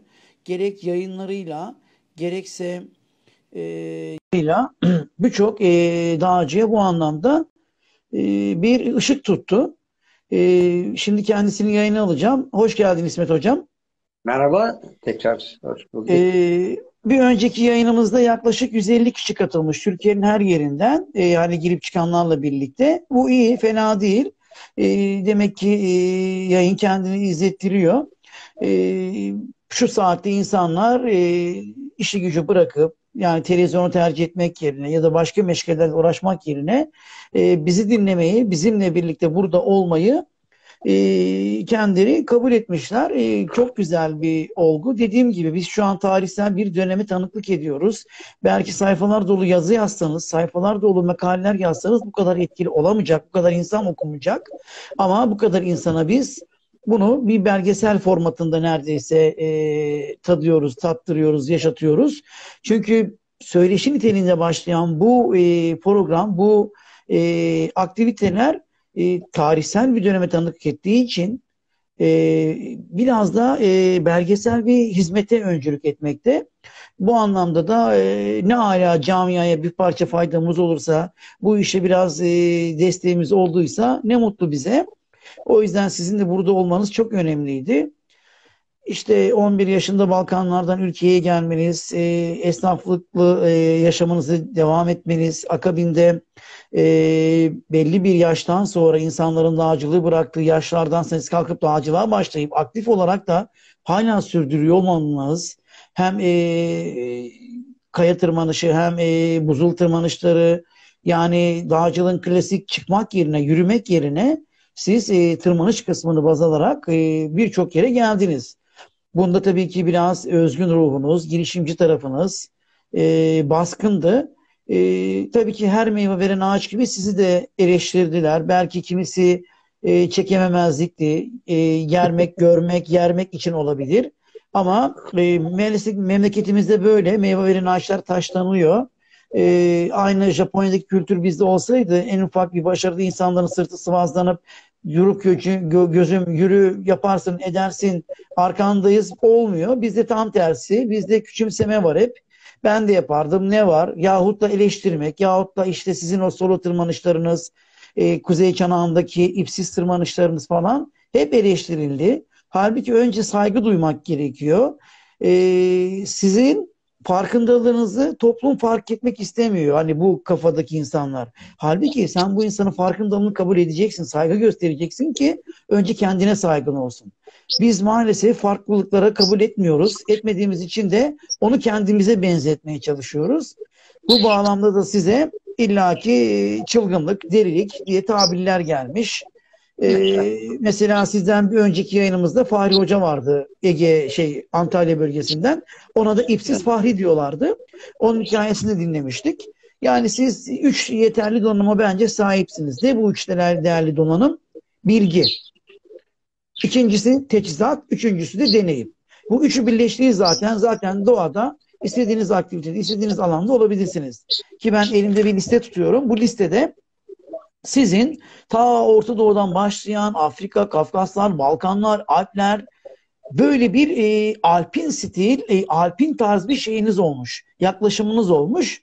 Şimdi buradan e, hemen şeye geçmek istiyorum. E, bu alp stilini benimserken bundaki ölçüt maddi bir külfetten dolayı yüksek irtifayı e, denememeniz mi? Yoksa e, yüksek irtifa dağcılığına e, biraz daha Angarya gözü olarak bakmanız mıydı? Nedir hocam bu anlamdaki düşünceniz? Evet. Ee, yüksek irtifayı bugüne kadar kendime bir hedef olarak görmedim. Beni e, sizin e, yayının başında söylediğiniz o Uludağ'ın zorlu koşullarından bahsettik. E, teknik e, tırmanışlar bana daha cazip gelmiştir. Bir de yüksek tırmanışlarda bu bir ekip işi.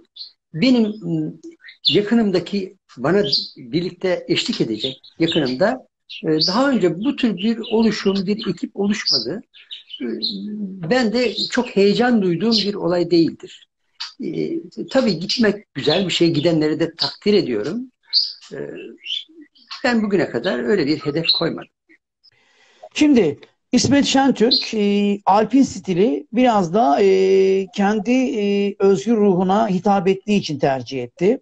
Bu bağlamda sola tırmanışları, efendim e, küçük ekiplerle birlikte vurkaçlar e, ve bunun dışında da e, yüksek irtifaya aslında e, bir hayal olarak hiçbir zaman hedef olarak önüne koymadığını dile getirdi.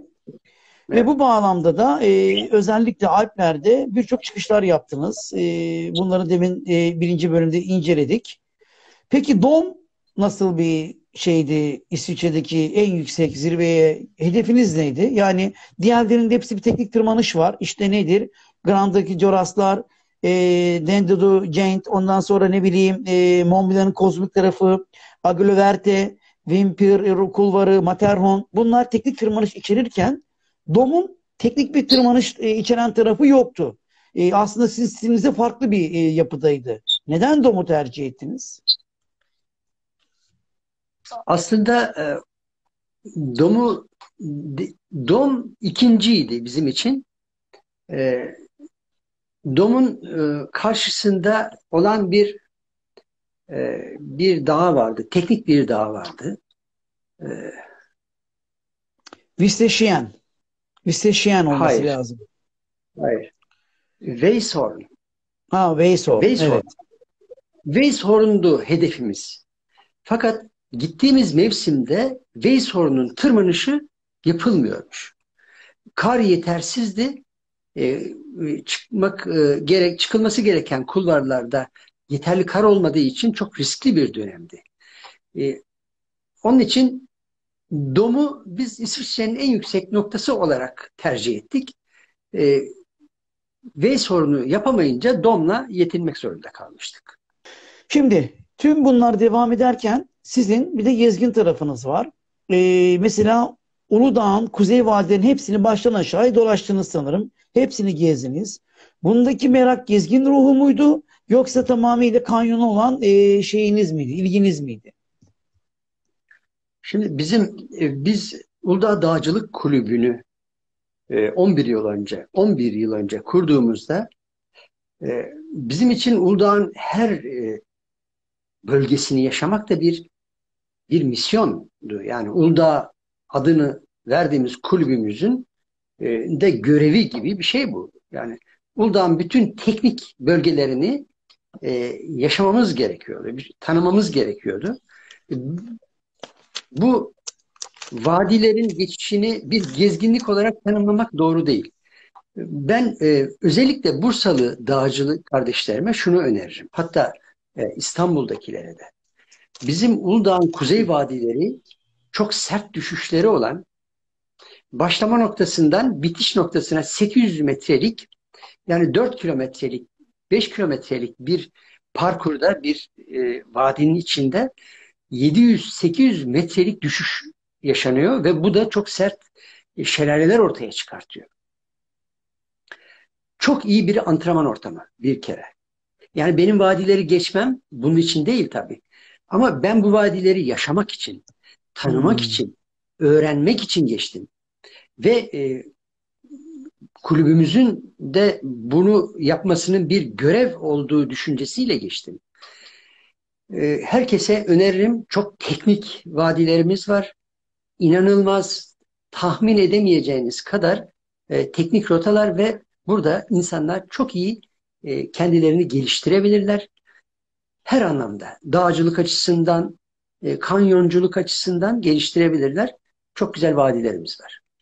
Ben o yüzden e, Uludağ'ın Marmara bölgesi açısından e, çok değerli olduğunu biliyorum. Hatta 90'lı yılların e, sonlarında e, giderken bu dağa e, o zaman fark etmiştim. E, buradaki çalışmalarla, mix tırmanışlarla e, diğer e, dağların e, zor yerlerin geçileceği, aşılacağını kanaat getirmiştim. Hatta bir dönemin ve hala bu döneminde etken olan üst e, divalarından e, yurt, yurt dışında popüler olan dağcılarından birisi Dulu Dağı küçümsüyordu. Gereksiz dağ gibi bir tabiri vardı. Beni çok üzmüştü. Ben o dönemlerde mix tırmanışlar yapıyordum. Henüz bu şenlikler falan başlamamış. Uludağ çanağı çok bilinmez. İşte birkaç rota varken biz orada bir şeyler yapıyoruz. Kendisine davet ediyorduk. Gelin yapalım edelim. Gereksiz dağ gibi bir tabir olması beni çok üzmüştü. Yıllar sonra e, kendilerini bu şenliklerde görünce e, söyleme gereği hissetmedim. Çünkü insanlar bazen yanlış çıkışlar yapabiliyor e, o dönemin koşullarında e, doğru düşünmeyebiliyor ama yargılamak e, olmaz. E, yıllar sonra baktım ki hak ettiği değeri verince Uludağ'a işte dedim zaman her şeyin e, ilacı, zaman her şeyin tedavisi.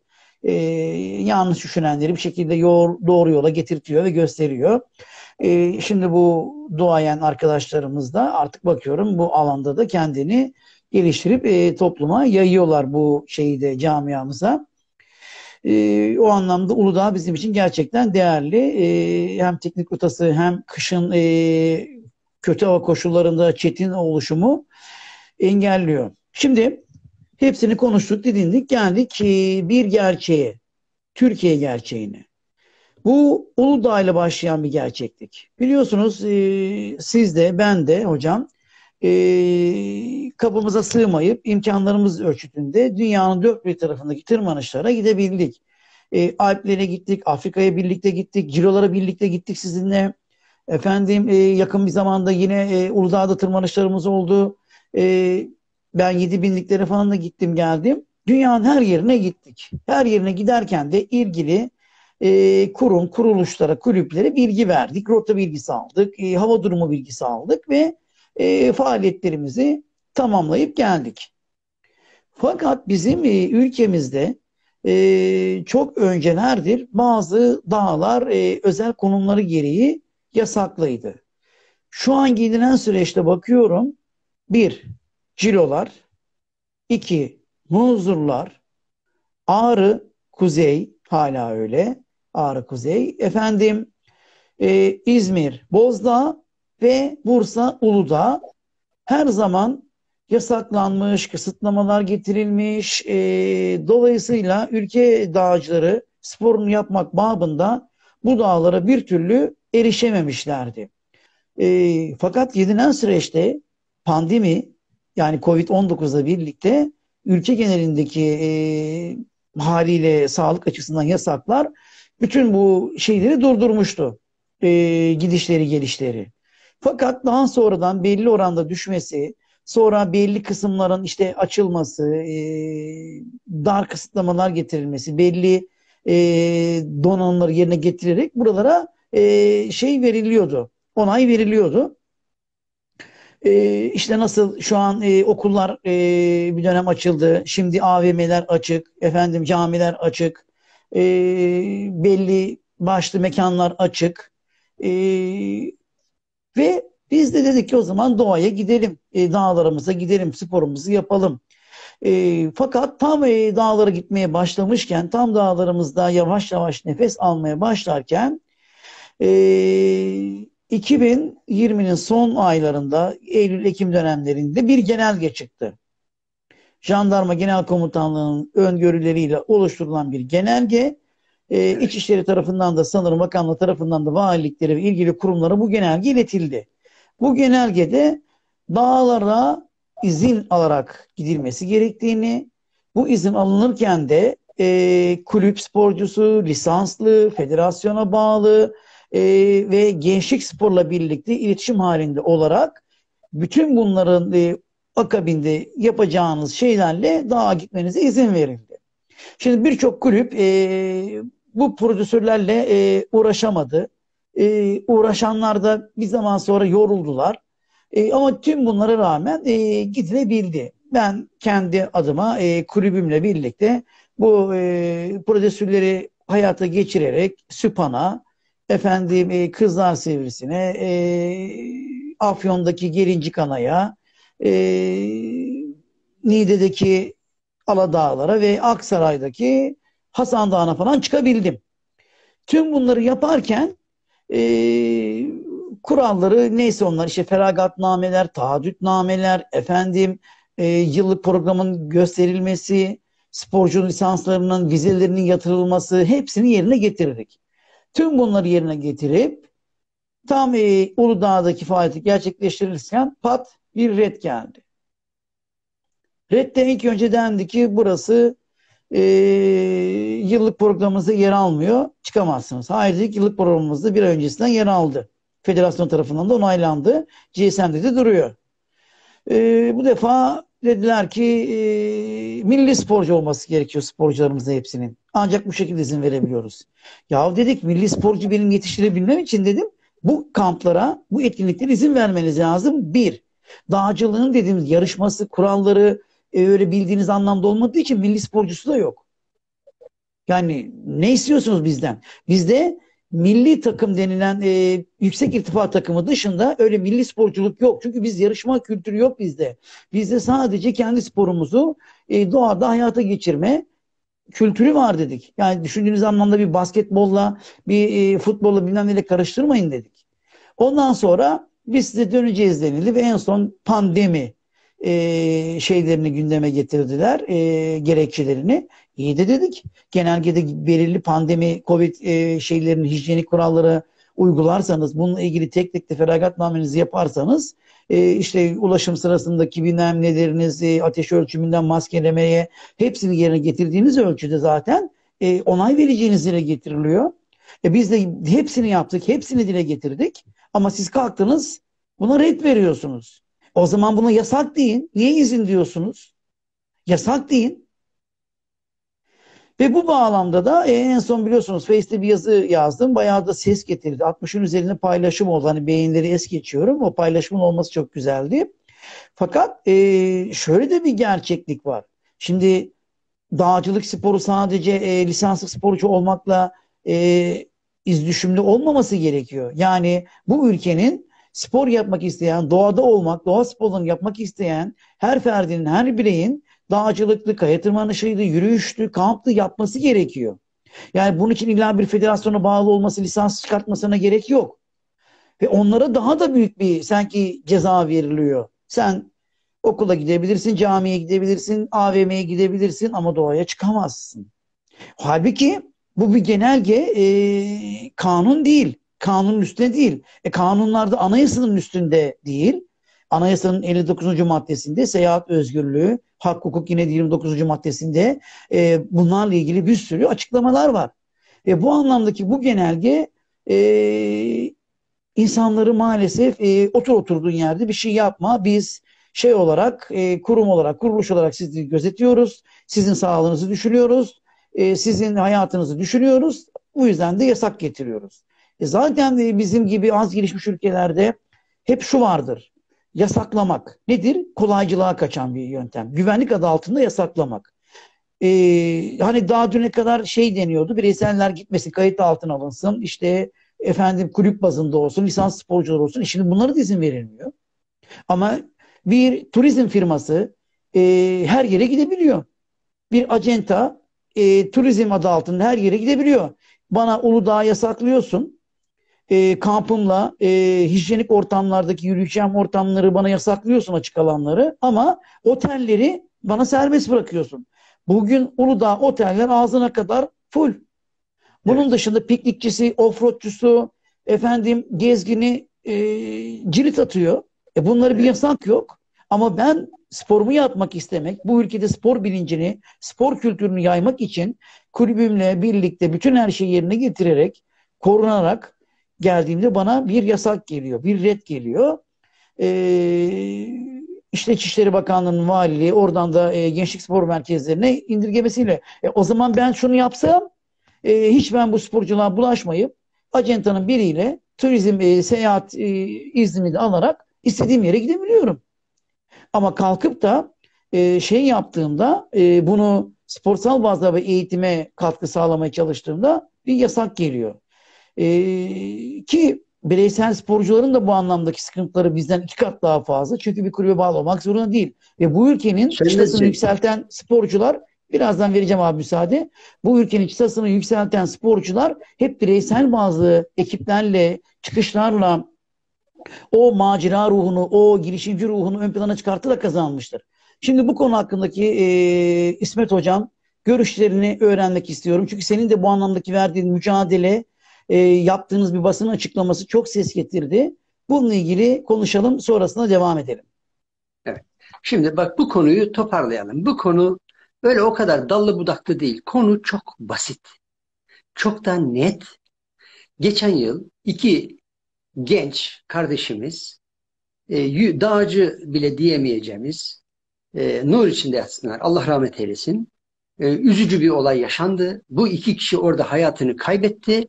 Burada harcanan bir 6 milyon liralık söylenen bir fatura çıkıyor devlete ve jandarma e, da burada e, İçişleri Bakanlığı'na bir genelge önerisinde bulunuyor konuyla ilgili.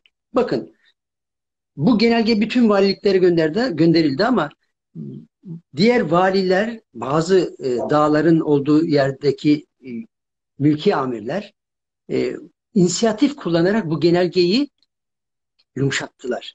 Bizim sorunumuz şu. Sorunumuz şu. Dağcı izin almaz. Dağcıya izin alma zorunluluğu getirmek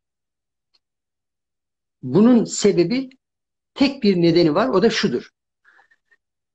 Benim görev alanımda başıma bela olma, benim başıma iş çıkarma, burada vukuat istemiyorum, sen de çıkma. Yani konu buradan çıkıyor. E, bu iki kişinin başına gelenler, bütün bu fatura dağcılara kesiliyor. Bu çok yanlış bir uygulamadır. Bunun dünyada örneği yoktur. Bugüne kadar gittiğim hiçbir ülkede Kilimanjaro dışında rehber almadım. Rehber alma zorunluluğu görmedim. Hiçbir yere de bilgi de vermedim. izin de almadım. Her yere de gidebiliyorum. İstediğim zaman da gidebilirim. Böyle bir uygulama hiçbir yerde yok. Bakın bu, bu bizim e, buradaki yöneticilerimizin, devletin e, en üst makamındaki görevlilerin inisiyatif kullanmamaları ve benim bölgemde başımıza iş çıkarma, otur oturduğun yere ben de vukuat istemiyorum.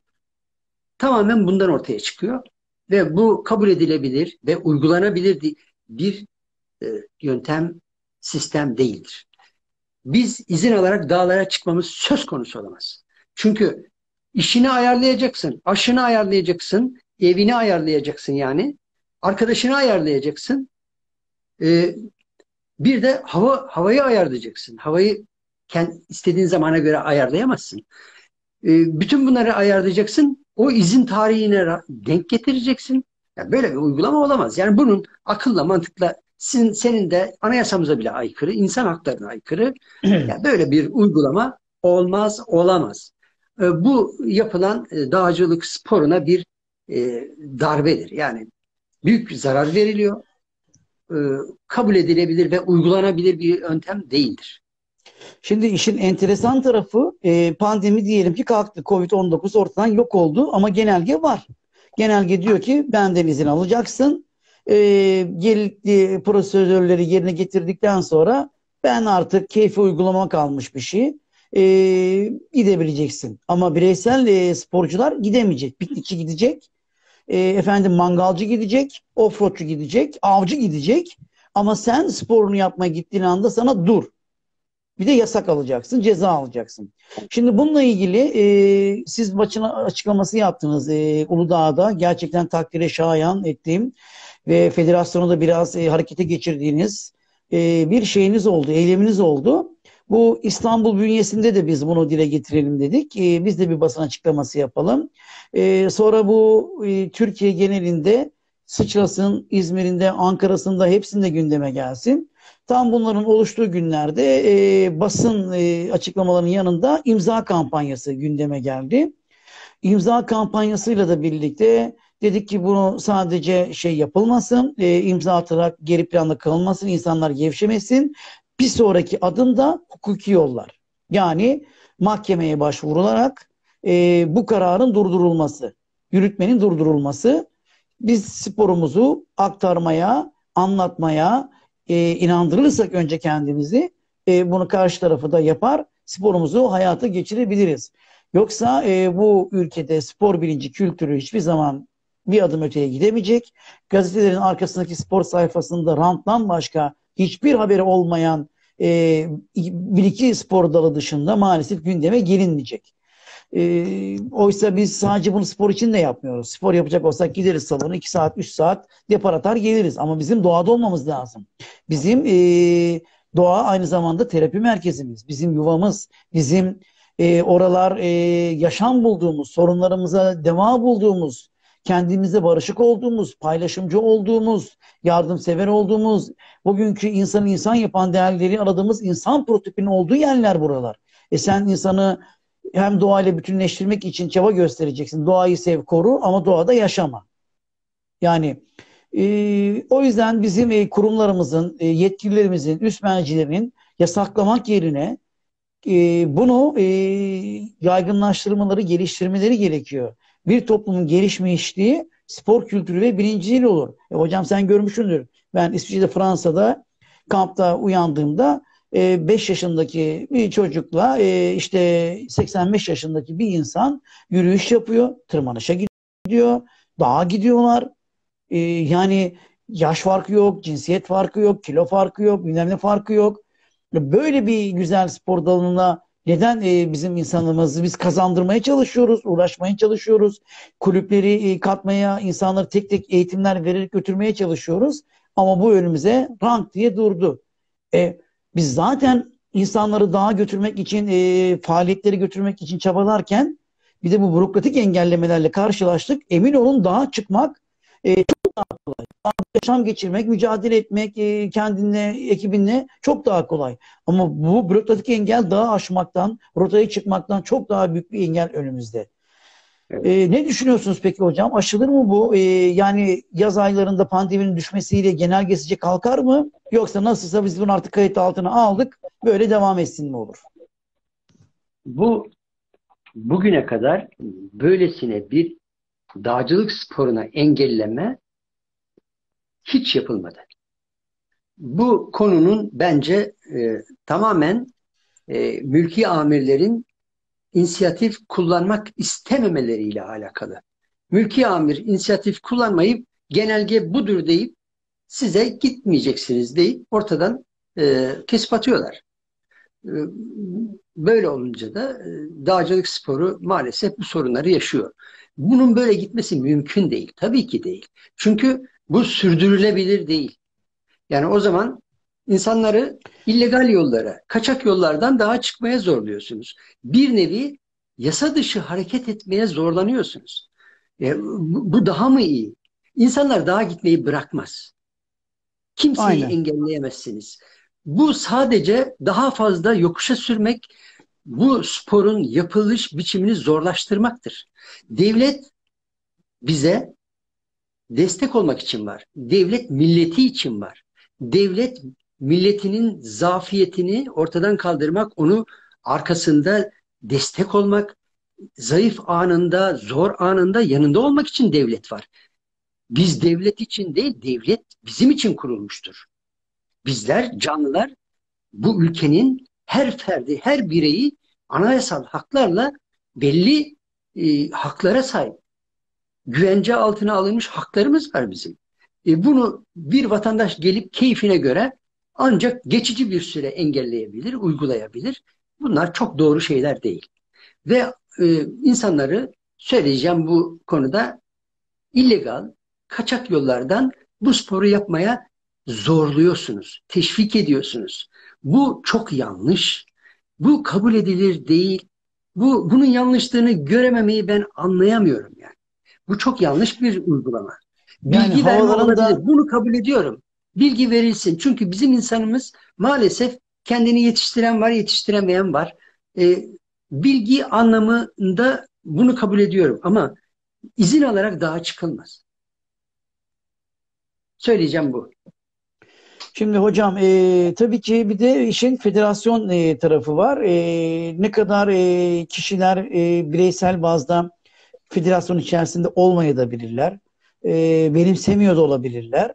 E, bu alanda kendi kulüpleriyle, kendi ekipleriyle e, bunu devam edebilirler. Ama federasyon da bu anlamda e, kulüplerini korumak, sporcularını korumak, kulüplerinin dışındaki, sporcuların dışındaki kitleyi de sahip çıkmak e, durumunda.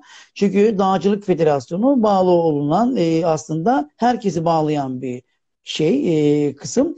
Çünkü bir aksilikte, bir sorunda, e, bir sıkıntıda federasyon ne yapıyor? Federasyon ne aşamada diye hemen dile getiriliyor. Şimdi çok arkadaşın sorusu var. Demin Özpoyraz'ın yazılarını okudum sevgili Mustafa Özpoyraz'ın da. O hocamızın da e, mesela belirttikleri var. Şimdi burada e, tek tek vali vali dolaşarak tek tek valileri ikna etmeye kalkışmaktansa direkt bunu bakanlık bazında çözmek daha mantıklı olmaz mı?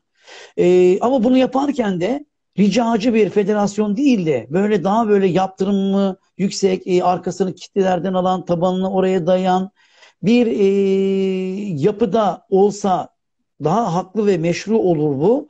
O zaman da e, insanlar e, kalkıp federasyonu eleştirmez yahut da e, federasyonun dışındaki olan insanlar da buna olumlu bakabilir. E, şimdi Tamam tabii ki mevcut yönetim ilgileniyor gidiyor o valiye bu valiye bir bakıyoruz Ağrı'da bir bakıyoruz Bursa'da bir bakıyoruz orada burada ama bunun sonu yok. Mesela biz Aksaray'a gittik oradaki vali yanımıza geldi ilgilendi bizimle e, bütün dağı bize açtı. E, Süphan'a gittik aynı şekilde öyle oldu ama bir Bozdağ ya da bir Uludağ'a gittiğiniz zaman oradaki valilik sistemi hayır diyor. E, bu işi en güzeli bak bakanlıktan çözmek. Tabii ki federasyonu da burada gelip görmek istemiyorum ama sonuçta e, o da bir beden terbiyesinin, Gençlik Sporları Müdürlüğü'nün alt beden terbiyesindeki bir birimi.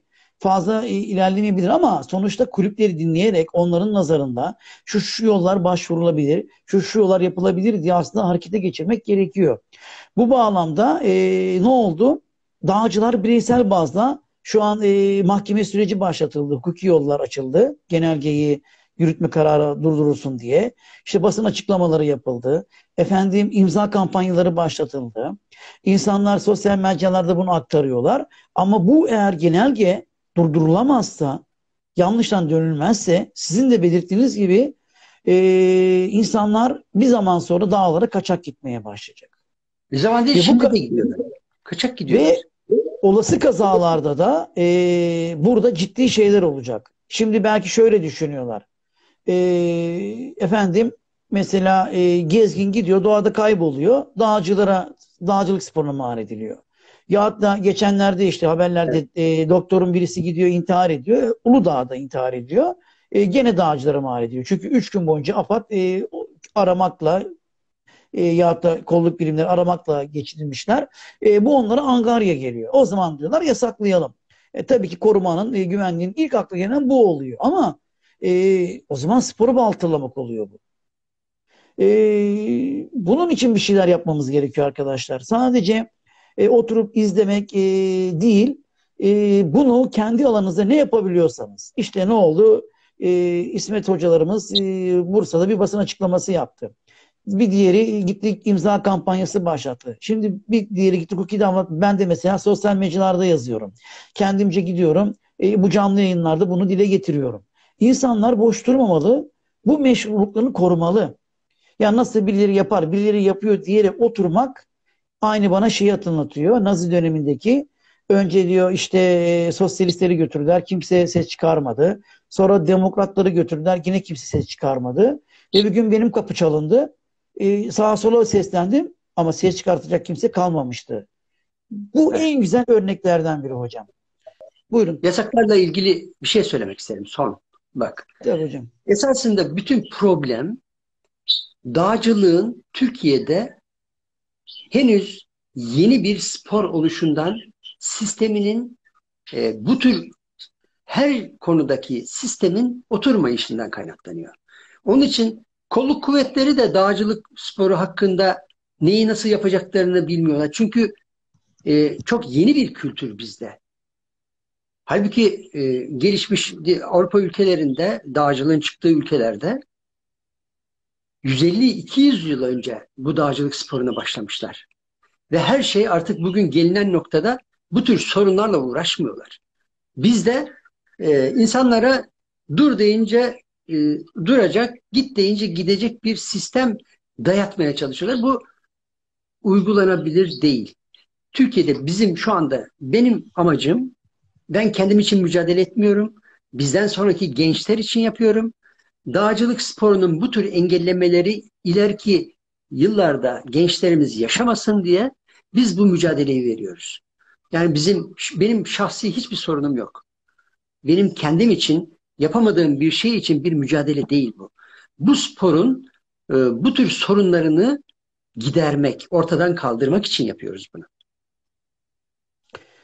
Evet hocam, e, hem e, sosyal medyadaki paylaşımlarınız hem e, YouTube kanalındaki e, paylaşımlarınız, videolarınızda bunu çok güzel e, ortaya koyuyorsunuz. Umarım e, ülkem sporu, ülkem insanı hak ettiği değeri en kısa sürede e, elde eder ve e, dünya arenasında e, haklı saygınlığımızı kazanabiliriz. Aksi durumda e, bu kısır döngü bizi geriletecek e, ve doğadan kopuk bir nesil, doğadan kopuk bir toplum e, yaratacak. E, zaten çocuklarımız doğayı tanımıyor. Bugün e, monitörde tanıyorlar. İşte bu kuş, bu işte sincap. Çocuklar bilmiyor doğayı. Biz şanslıyız e, kuşak gereği biraz bunları yakından doğayı büyüyebildik, görebildik. Ama şimdi çocuklar belli bir yaşa gelene kadar parka bile indirilmiyor. Yani insan doğadan doğanın bir parçası, bir bütünüdür, kopartılamaz. Koparttığınız anda görüyorsunuz e, hem e, fiziksel sorunlar hem psikolojik sorunlar nasıl gelip kapıya dayanıyor. Ben açıkça söyleyeyim yani ben e, 20'li yaşlardan beri doğanın içerisinde, doğa sporların içerisindeyim. E, benim için özel bir terapi oluyor.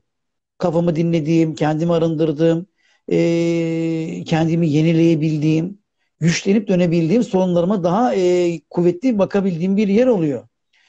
E, yani siz de bilmiyorum belki ömrümün sonuna kadar ben doğada olmak isterim. E, sağlığımı el verdiğince. Siz de öyle düşünmüyor musunuz hocam? Evet.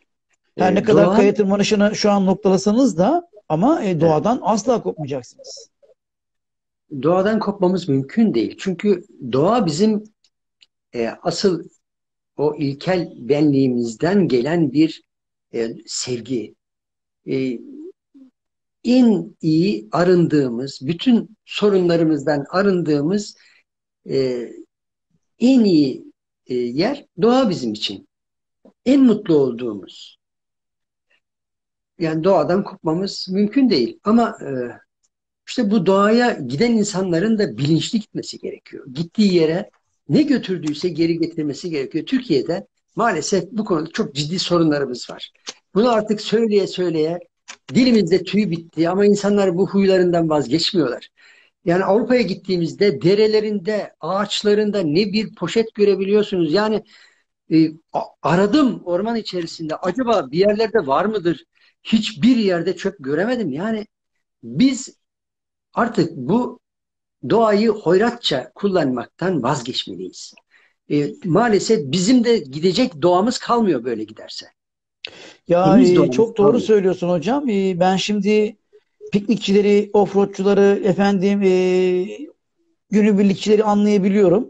Fakat e, şimdi bizim içimizde de eğitimli, kültürlü, donanımlı arkadaşları görüyorum.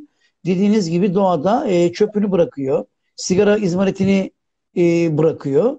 E, ben Ballıkayalar gibi bir yerde, hani çok popüler olan bir yerde neredeyse her gidişimde e, şeyin yarısı kadar e, 500 cc'lik pet şişenin yarısı kadar izmarit topluyorum çevreden. Rotaların dibinde orada burada. E, bunu sen e, bunu reva görüyorsan kendine e, diğer insanlar neler yapmaz? Ki sen bilinçli, donanımlı ve deneyimli bir sporcu olarak bulunuyorsun.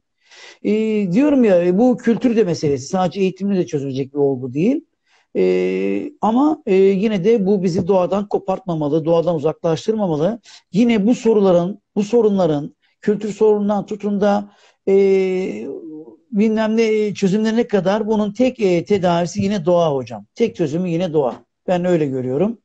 Böyle olduğunu da e, yazılarımızda dillendiriyoruz, makalelerde dillendiriliyor, e, uzman kişiler görüşlerini sunuyor. Bu böyle bir gerçek. Şimdi e, federasyon e, başkanlığı size teklif edilse ne yaparsınız?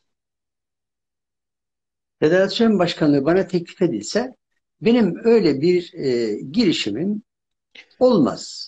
Benim bundan Uludağ sonraki hayatımda çevresi toplandı geldi. e, bu tür İsmet Şentürk hocam sizi aday göstermek istiyoruz dediler. Bu durumda ülke dağarcığına faydalı olmak için böyle bir girişimde e, yer almak istemez misiniz? maalesef benim öyle bir düşüncem yok. Bundan sonraki hayatımda da artık e, daha fazla kendimi yaşayacağım. Ben artık bundan sonra kendimi zaten bir gezgin olarak tanımlıyorum.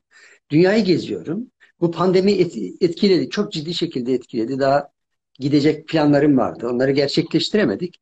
Ee, umarım sağlığımız el verirse bundan sonra da bu gezgin hayatımı Diyorsunuz ki artırarak e, ben bu yaşa kadar e, yaptığımı yaptım. E, Evet. bundan sonra diyorsun nesiller bunu devam ettirsin. E, ama ben İsmet Hoca'yı 2015'te de bu söylemleriyle tanımıştım. Sönmez demiştin. 2015 itibariyle ben artık dağcılığa, tırmanışa ara veriyorum deyip 2015 yılından sonra e, hayatının en büyük çıkışlarını, en büyük zorlu çıkışlarını yaptığını biliyorum abi. Yani e, onu da ben e, biliyorum. Senin içindeki aslanı biliyorum. İçindeki o bitip hep bilmeyen e, ateşi çok iyi yakından tabii tanıyorum.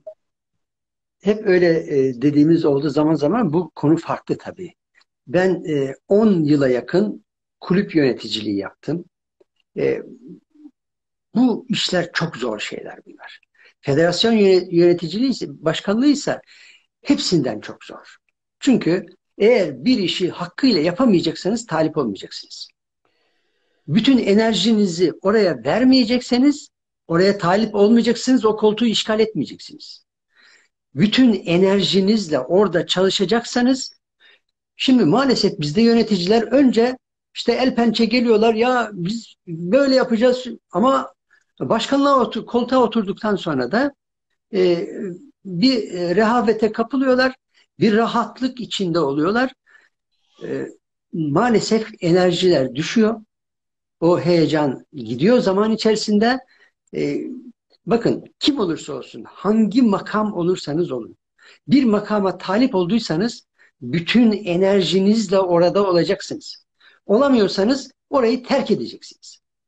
Onun başka bir alternatifi yok. İsterseniz başbakan olun, isterseniz müdür olun. Bir işi hakkıyla yapıyorsanız orada olacaksınız. Yapmıyorsanız vicdanınız rahat mı? Kendinize bir sorun, ona göre devam edin. Ama e, hocam biliyorsunuz e, insanlar bu yetkiyi alınca, o koltuğa oturunca ister istemez e, bunları göremeyebiliyor, fark edemeyebiliyor.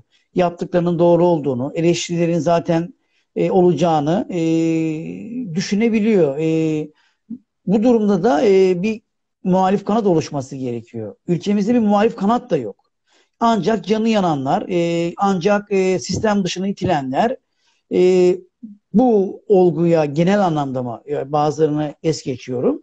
Bu anlamda e, maalesef bakabiliyorlar. Hani bizde öyle bir şey de var. E, yapı da var. E, yani mesela düşünün Alaaddin Karaca dönemini 20 yıl ilerlemiş. 20 yıl gelmiş. E, tabii ki hocanın çok katkıları, değerli paylaşımlar, aktarımlar olmuştur ama kim olursa olsun bence bir koltukta 20 yıl oturmamalı. Bakın bu Ee, konuda federasyon tüzüğü değiştirilmeli. iki dönemden fazla başkan olunmamalı. ha çok güzel. Bütün kulüpler, e, birimler e, bunu yapmalı. Sadece kulüpler değil, işte bakanlıklar, federasyonlar, hatta e, hükümetler bile bence böyle olmalı. E, ki Amerika'da bile böyle değil mi bildiğim kadarıyla e, baka, başkanlık sistemlerinde bile böyle bir şey var. Çünkü bu demokratik bir şey. İnsanlar e, hata yapabiliyor, yanlış yapabiliyor ve bunu göremeyebiliyorlar. Peki siz iki şeyi e, içerisinde bulundunuz. Hem Ersan Başkan'ın dönemini biliyorsunuz hem Alaaddin Karaca dönemini biliyorsunuz. Öncekileri biliyor musunuz bilmiyorum. Nasıl değerlendiriyorsunuz? E, sizce artıları eksileri neydi ya da nasıl olması lazım? Bu anlamdaki bir şeyiniz var mı? Görüşünüz, düşünceniz? Ben şimdi federasyon başkanları hakkında bir eleştiride bulunmak yerine ben e, neler yapıldığı ya da neler yapılması gerekir, bir başkanın ne yapması gerektiği konusuna değineceğim.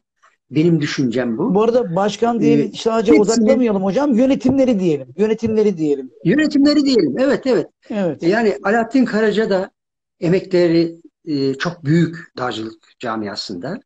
E, Ersan Başkanımız da E, o da bir mücadele veriyor tabii. Bir enerji harcıyor. Bakın şimdi burada insanlara eleştirmek, laf söylemek çok kolay. Ben zaten bunu söylerken bir kişiye e, hitaben söylemiyorum. Hangi makam olursa olsun bütün enerjinizle orada olmayacaksanız talip olmayacaksınız. Bir başkan nasıl olmalı? Bir başkan mühendis zihniyetinde olmalı. Sürekli üretmeli.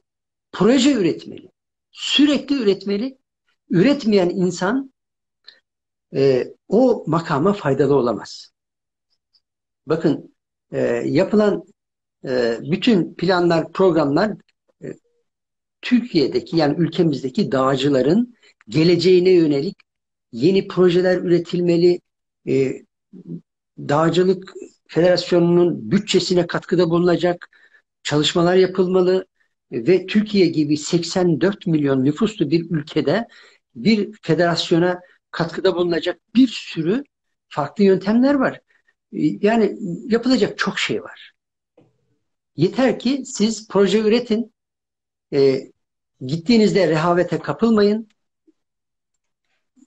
ve insanları da dinlemek de çok önemli. Bakın insanları dinlemek çok önemli. Bu fikirlerin içerisinden 100 taneden 5 tane çok önemli ya da bir tane çok önemli fikir sizin federasyonun gidişatını bile değiştirebilir. Onun için e, benim yaptığım doğru şeklinde bir düşünceyle değil, bütün mesela biz kulüp olarak bir e, toplantılarımızda bir çalışma sistemimiz vardı. Herkes fikirlerini ortaya atar, en doğru fikri olgunlaştırıp onu uygulardık. Türkiye Dağcılık Federasyonu'nun yönetim kurulunun çalışma biçimi yani benim ıı, eleştirebileceğim bir konudur bu. Ee, Ersan Başkan başkan olduğu zaman bir mail yazdım kendisine. Bir yönetim kurulu varsa çalışmalı başkanım diye. Ee, bana o konuyla ilgili hiçbir şekilde dönüş de olmadı da. Yani yönetim kurulu üyeleri federasyonun aldığı bir karardan haberi bile olmadığını görmekten ben üzüntü duyuyorum. O zaman kurmayın onu. Yani yönetim kurulu olmasın o zaman. Göstermelik, kağıt üzerinde yönetim olmaz. Yönetim bir başkanın etrafında bir e, beyin jimnastiği yapabileceği bir ekiptir. Bütün ekibin, o seçilmiş ekip zaten. Seçilmiş ekibin fikirleri önemlidir. Onların da düşünceleri alınmalı. Bir karar alınırken hatta yeni projeler ortaya koyarken onların da e, katkıları sağlanmalı. Yani kağıt üzerinde yönetimi ben kabul edemiyorum. Ya bunu tabii ki sadece federasyon bazında değil dediğiniz gibi kulüpler bazında da öngörmek gerekiyor. Yani yönetimdeki kişilerin de aslında sorgulaması lazım. Yani burada kalkıp başkanlar günah keçisi de olmamalı. Biz ben o yüzden e, yönetim eleştiriyorum. Yani diyelim ki Alaaddin Hoca yanlış yaptı, Ersan Başkan yanlış yaptı. Hayır, ben yönetimi suçlarım. Madem o yönetime girdin, o zaman yanlış bir şeyler gidiyorsa uyaracaksın, dile getireceksin. Yani Bu yönetim konusu bütün başkanlar taraf zamanında hep aynı gelmiş, aynı gidiyor. Maalesef bizde yönetim kurulları kulüpler bazında da aynı şekilde dediğiniz gibi e, sadece kağıt üzerinde. Şey hocam e, dedim ya bizim e, Anadolu kültüründe böyle bir şey var, yapı var. Mesela tek adamcılığı seviyoruz. Tek adamcılığın da olması için evet. yönlendiriyoruz. Siz bunları çok daha iyi bilirsiniz. 10 yıllık bir kulüp yönetmişsiniz. Ben de şu an bir kulübün içerisindeyim ama her şey sizi tek adamlığa doğru itiyor. Hep bütün şeyler buna itiyor. Ee, ama bu da yanlış yaparsınız. Tek adam olursan yanlış yaparsın. Yani Mustafa Kemal bile, e, Atatürk bile e, tek adamlık döneminde yanlışları olmuş hataları. Ama o kendisi ne yaptı? Çok partili e, sürece sokarak bu şeyi açmazı şeyi ortadan kaldırmak istedi. Ama ne oldu? Akabinde de İsmet Paşa da tek adam oldu. E, demokrasi e, biraz farklı bir şekilde ilerledi bizde. Sanırım bu kültürde bu şekilde devam ediyor. Ama artık e, bilgi çağındayız. Bilgi dönemindeyiz. İnsanlar daha çok araştırıyor, sorguluyor. E, bu programları izliyorlar, e, araştırıyorlar. Her türlü şeye sahipler. Artık insanlar cahil değil. Artık insanlar aptal değil. Tabii ki aptallaştırılan birçok e, sistemle bizi e, maruz bırakıyorlar ama e, işte bakın sizler bizler bunu insanların e, önüne seriyoruz. İsmet Hocam, e, son 5 dakikaya girdik. E, ilgi de Evet. artmaya başladı ama artık e, çok geç oldu. Saat 11'i geçiyor. E, yavaş yavaş artık e, son sözlerimizi toparlayıp sonra da birlikte buradan el sallayarak programı kapatmamız gerekiyor. E, sizin e, beklentiniz, isteminiz, söyleminiz nedir? Gelecek kuşaklara olsun, şimdiki e, camiaya olsun. Nedir hocam görüşleriniz, istemleriniz, beklentileriniz? Benim dağcılık camiasındaki genç arkadaşlarıma bir tavsiyem olacak. Bu da ufuklarını yurt dışına diksinler. Güzel dağlara baksınlar. Raporları okusunlar. Kendilerine hedef seçsinler. Bu hedefe yönelik çalışsınlar. Hazırlansınlar ve e, bu dağcılık sporunda bizim de ülkemizi hak ettiği yere getirsinler. Gençler e, korkmasınlar, cesur olsunlar, gitsinler başka ülkelerde tırmanışlara pahalı diye e, çekinen arkadaş kardeşlerimiz var.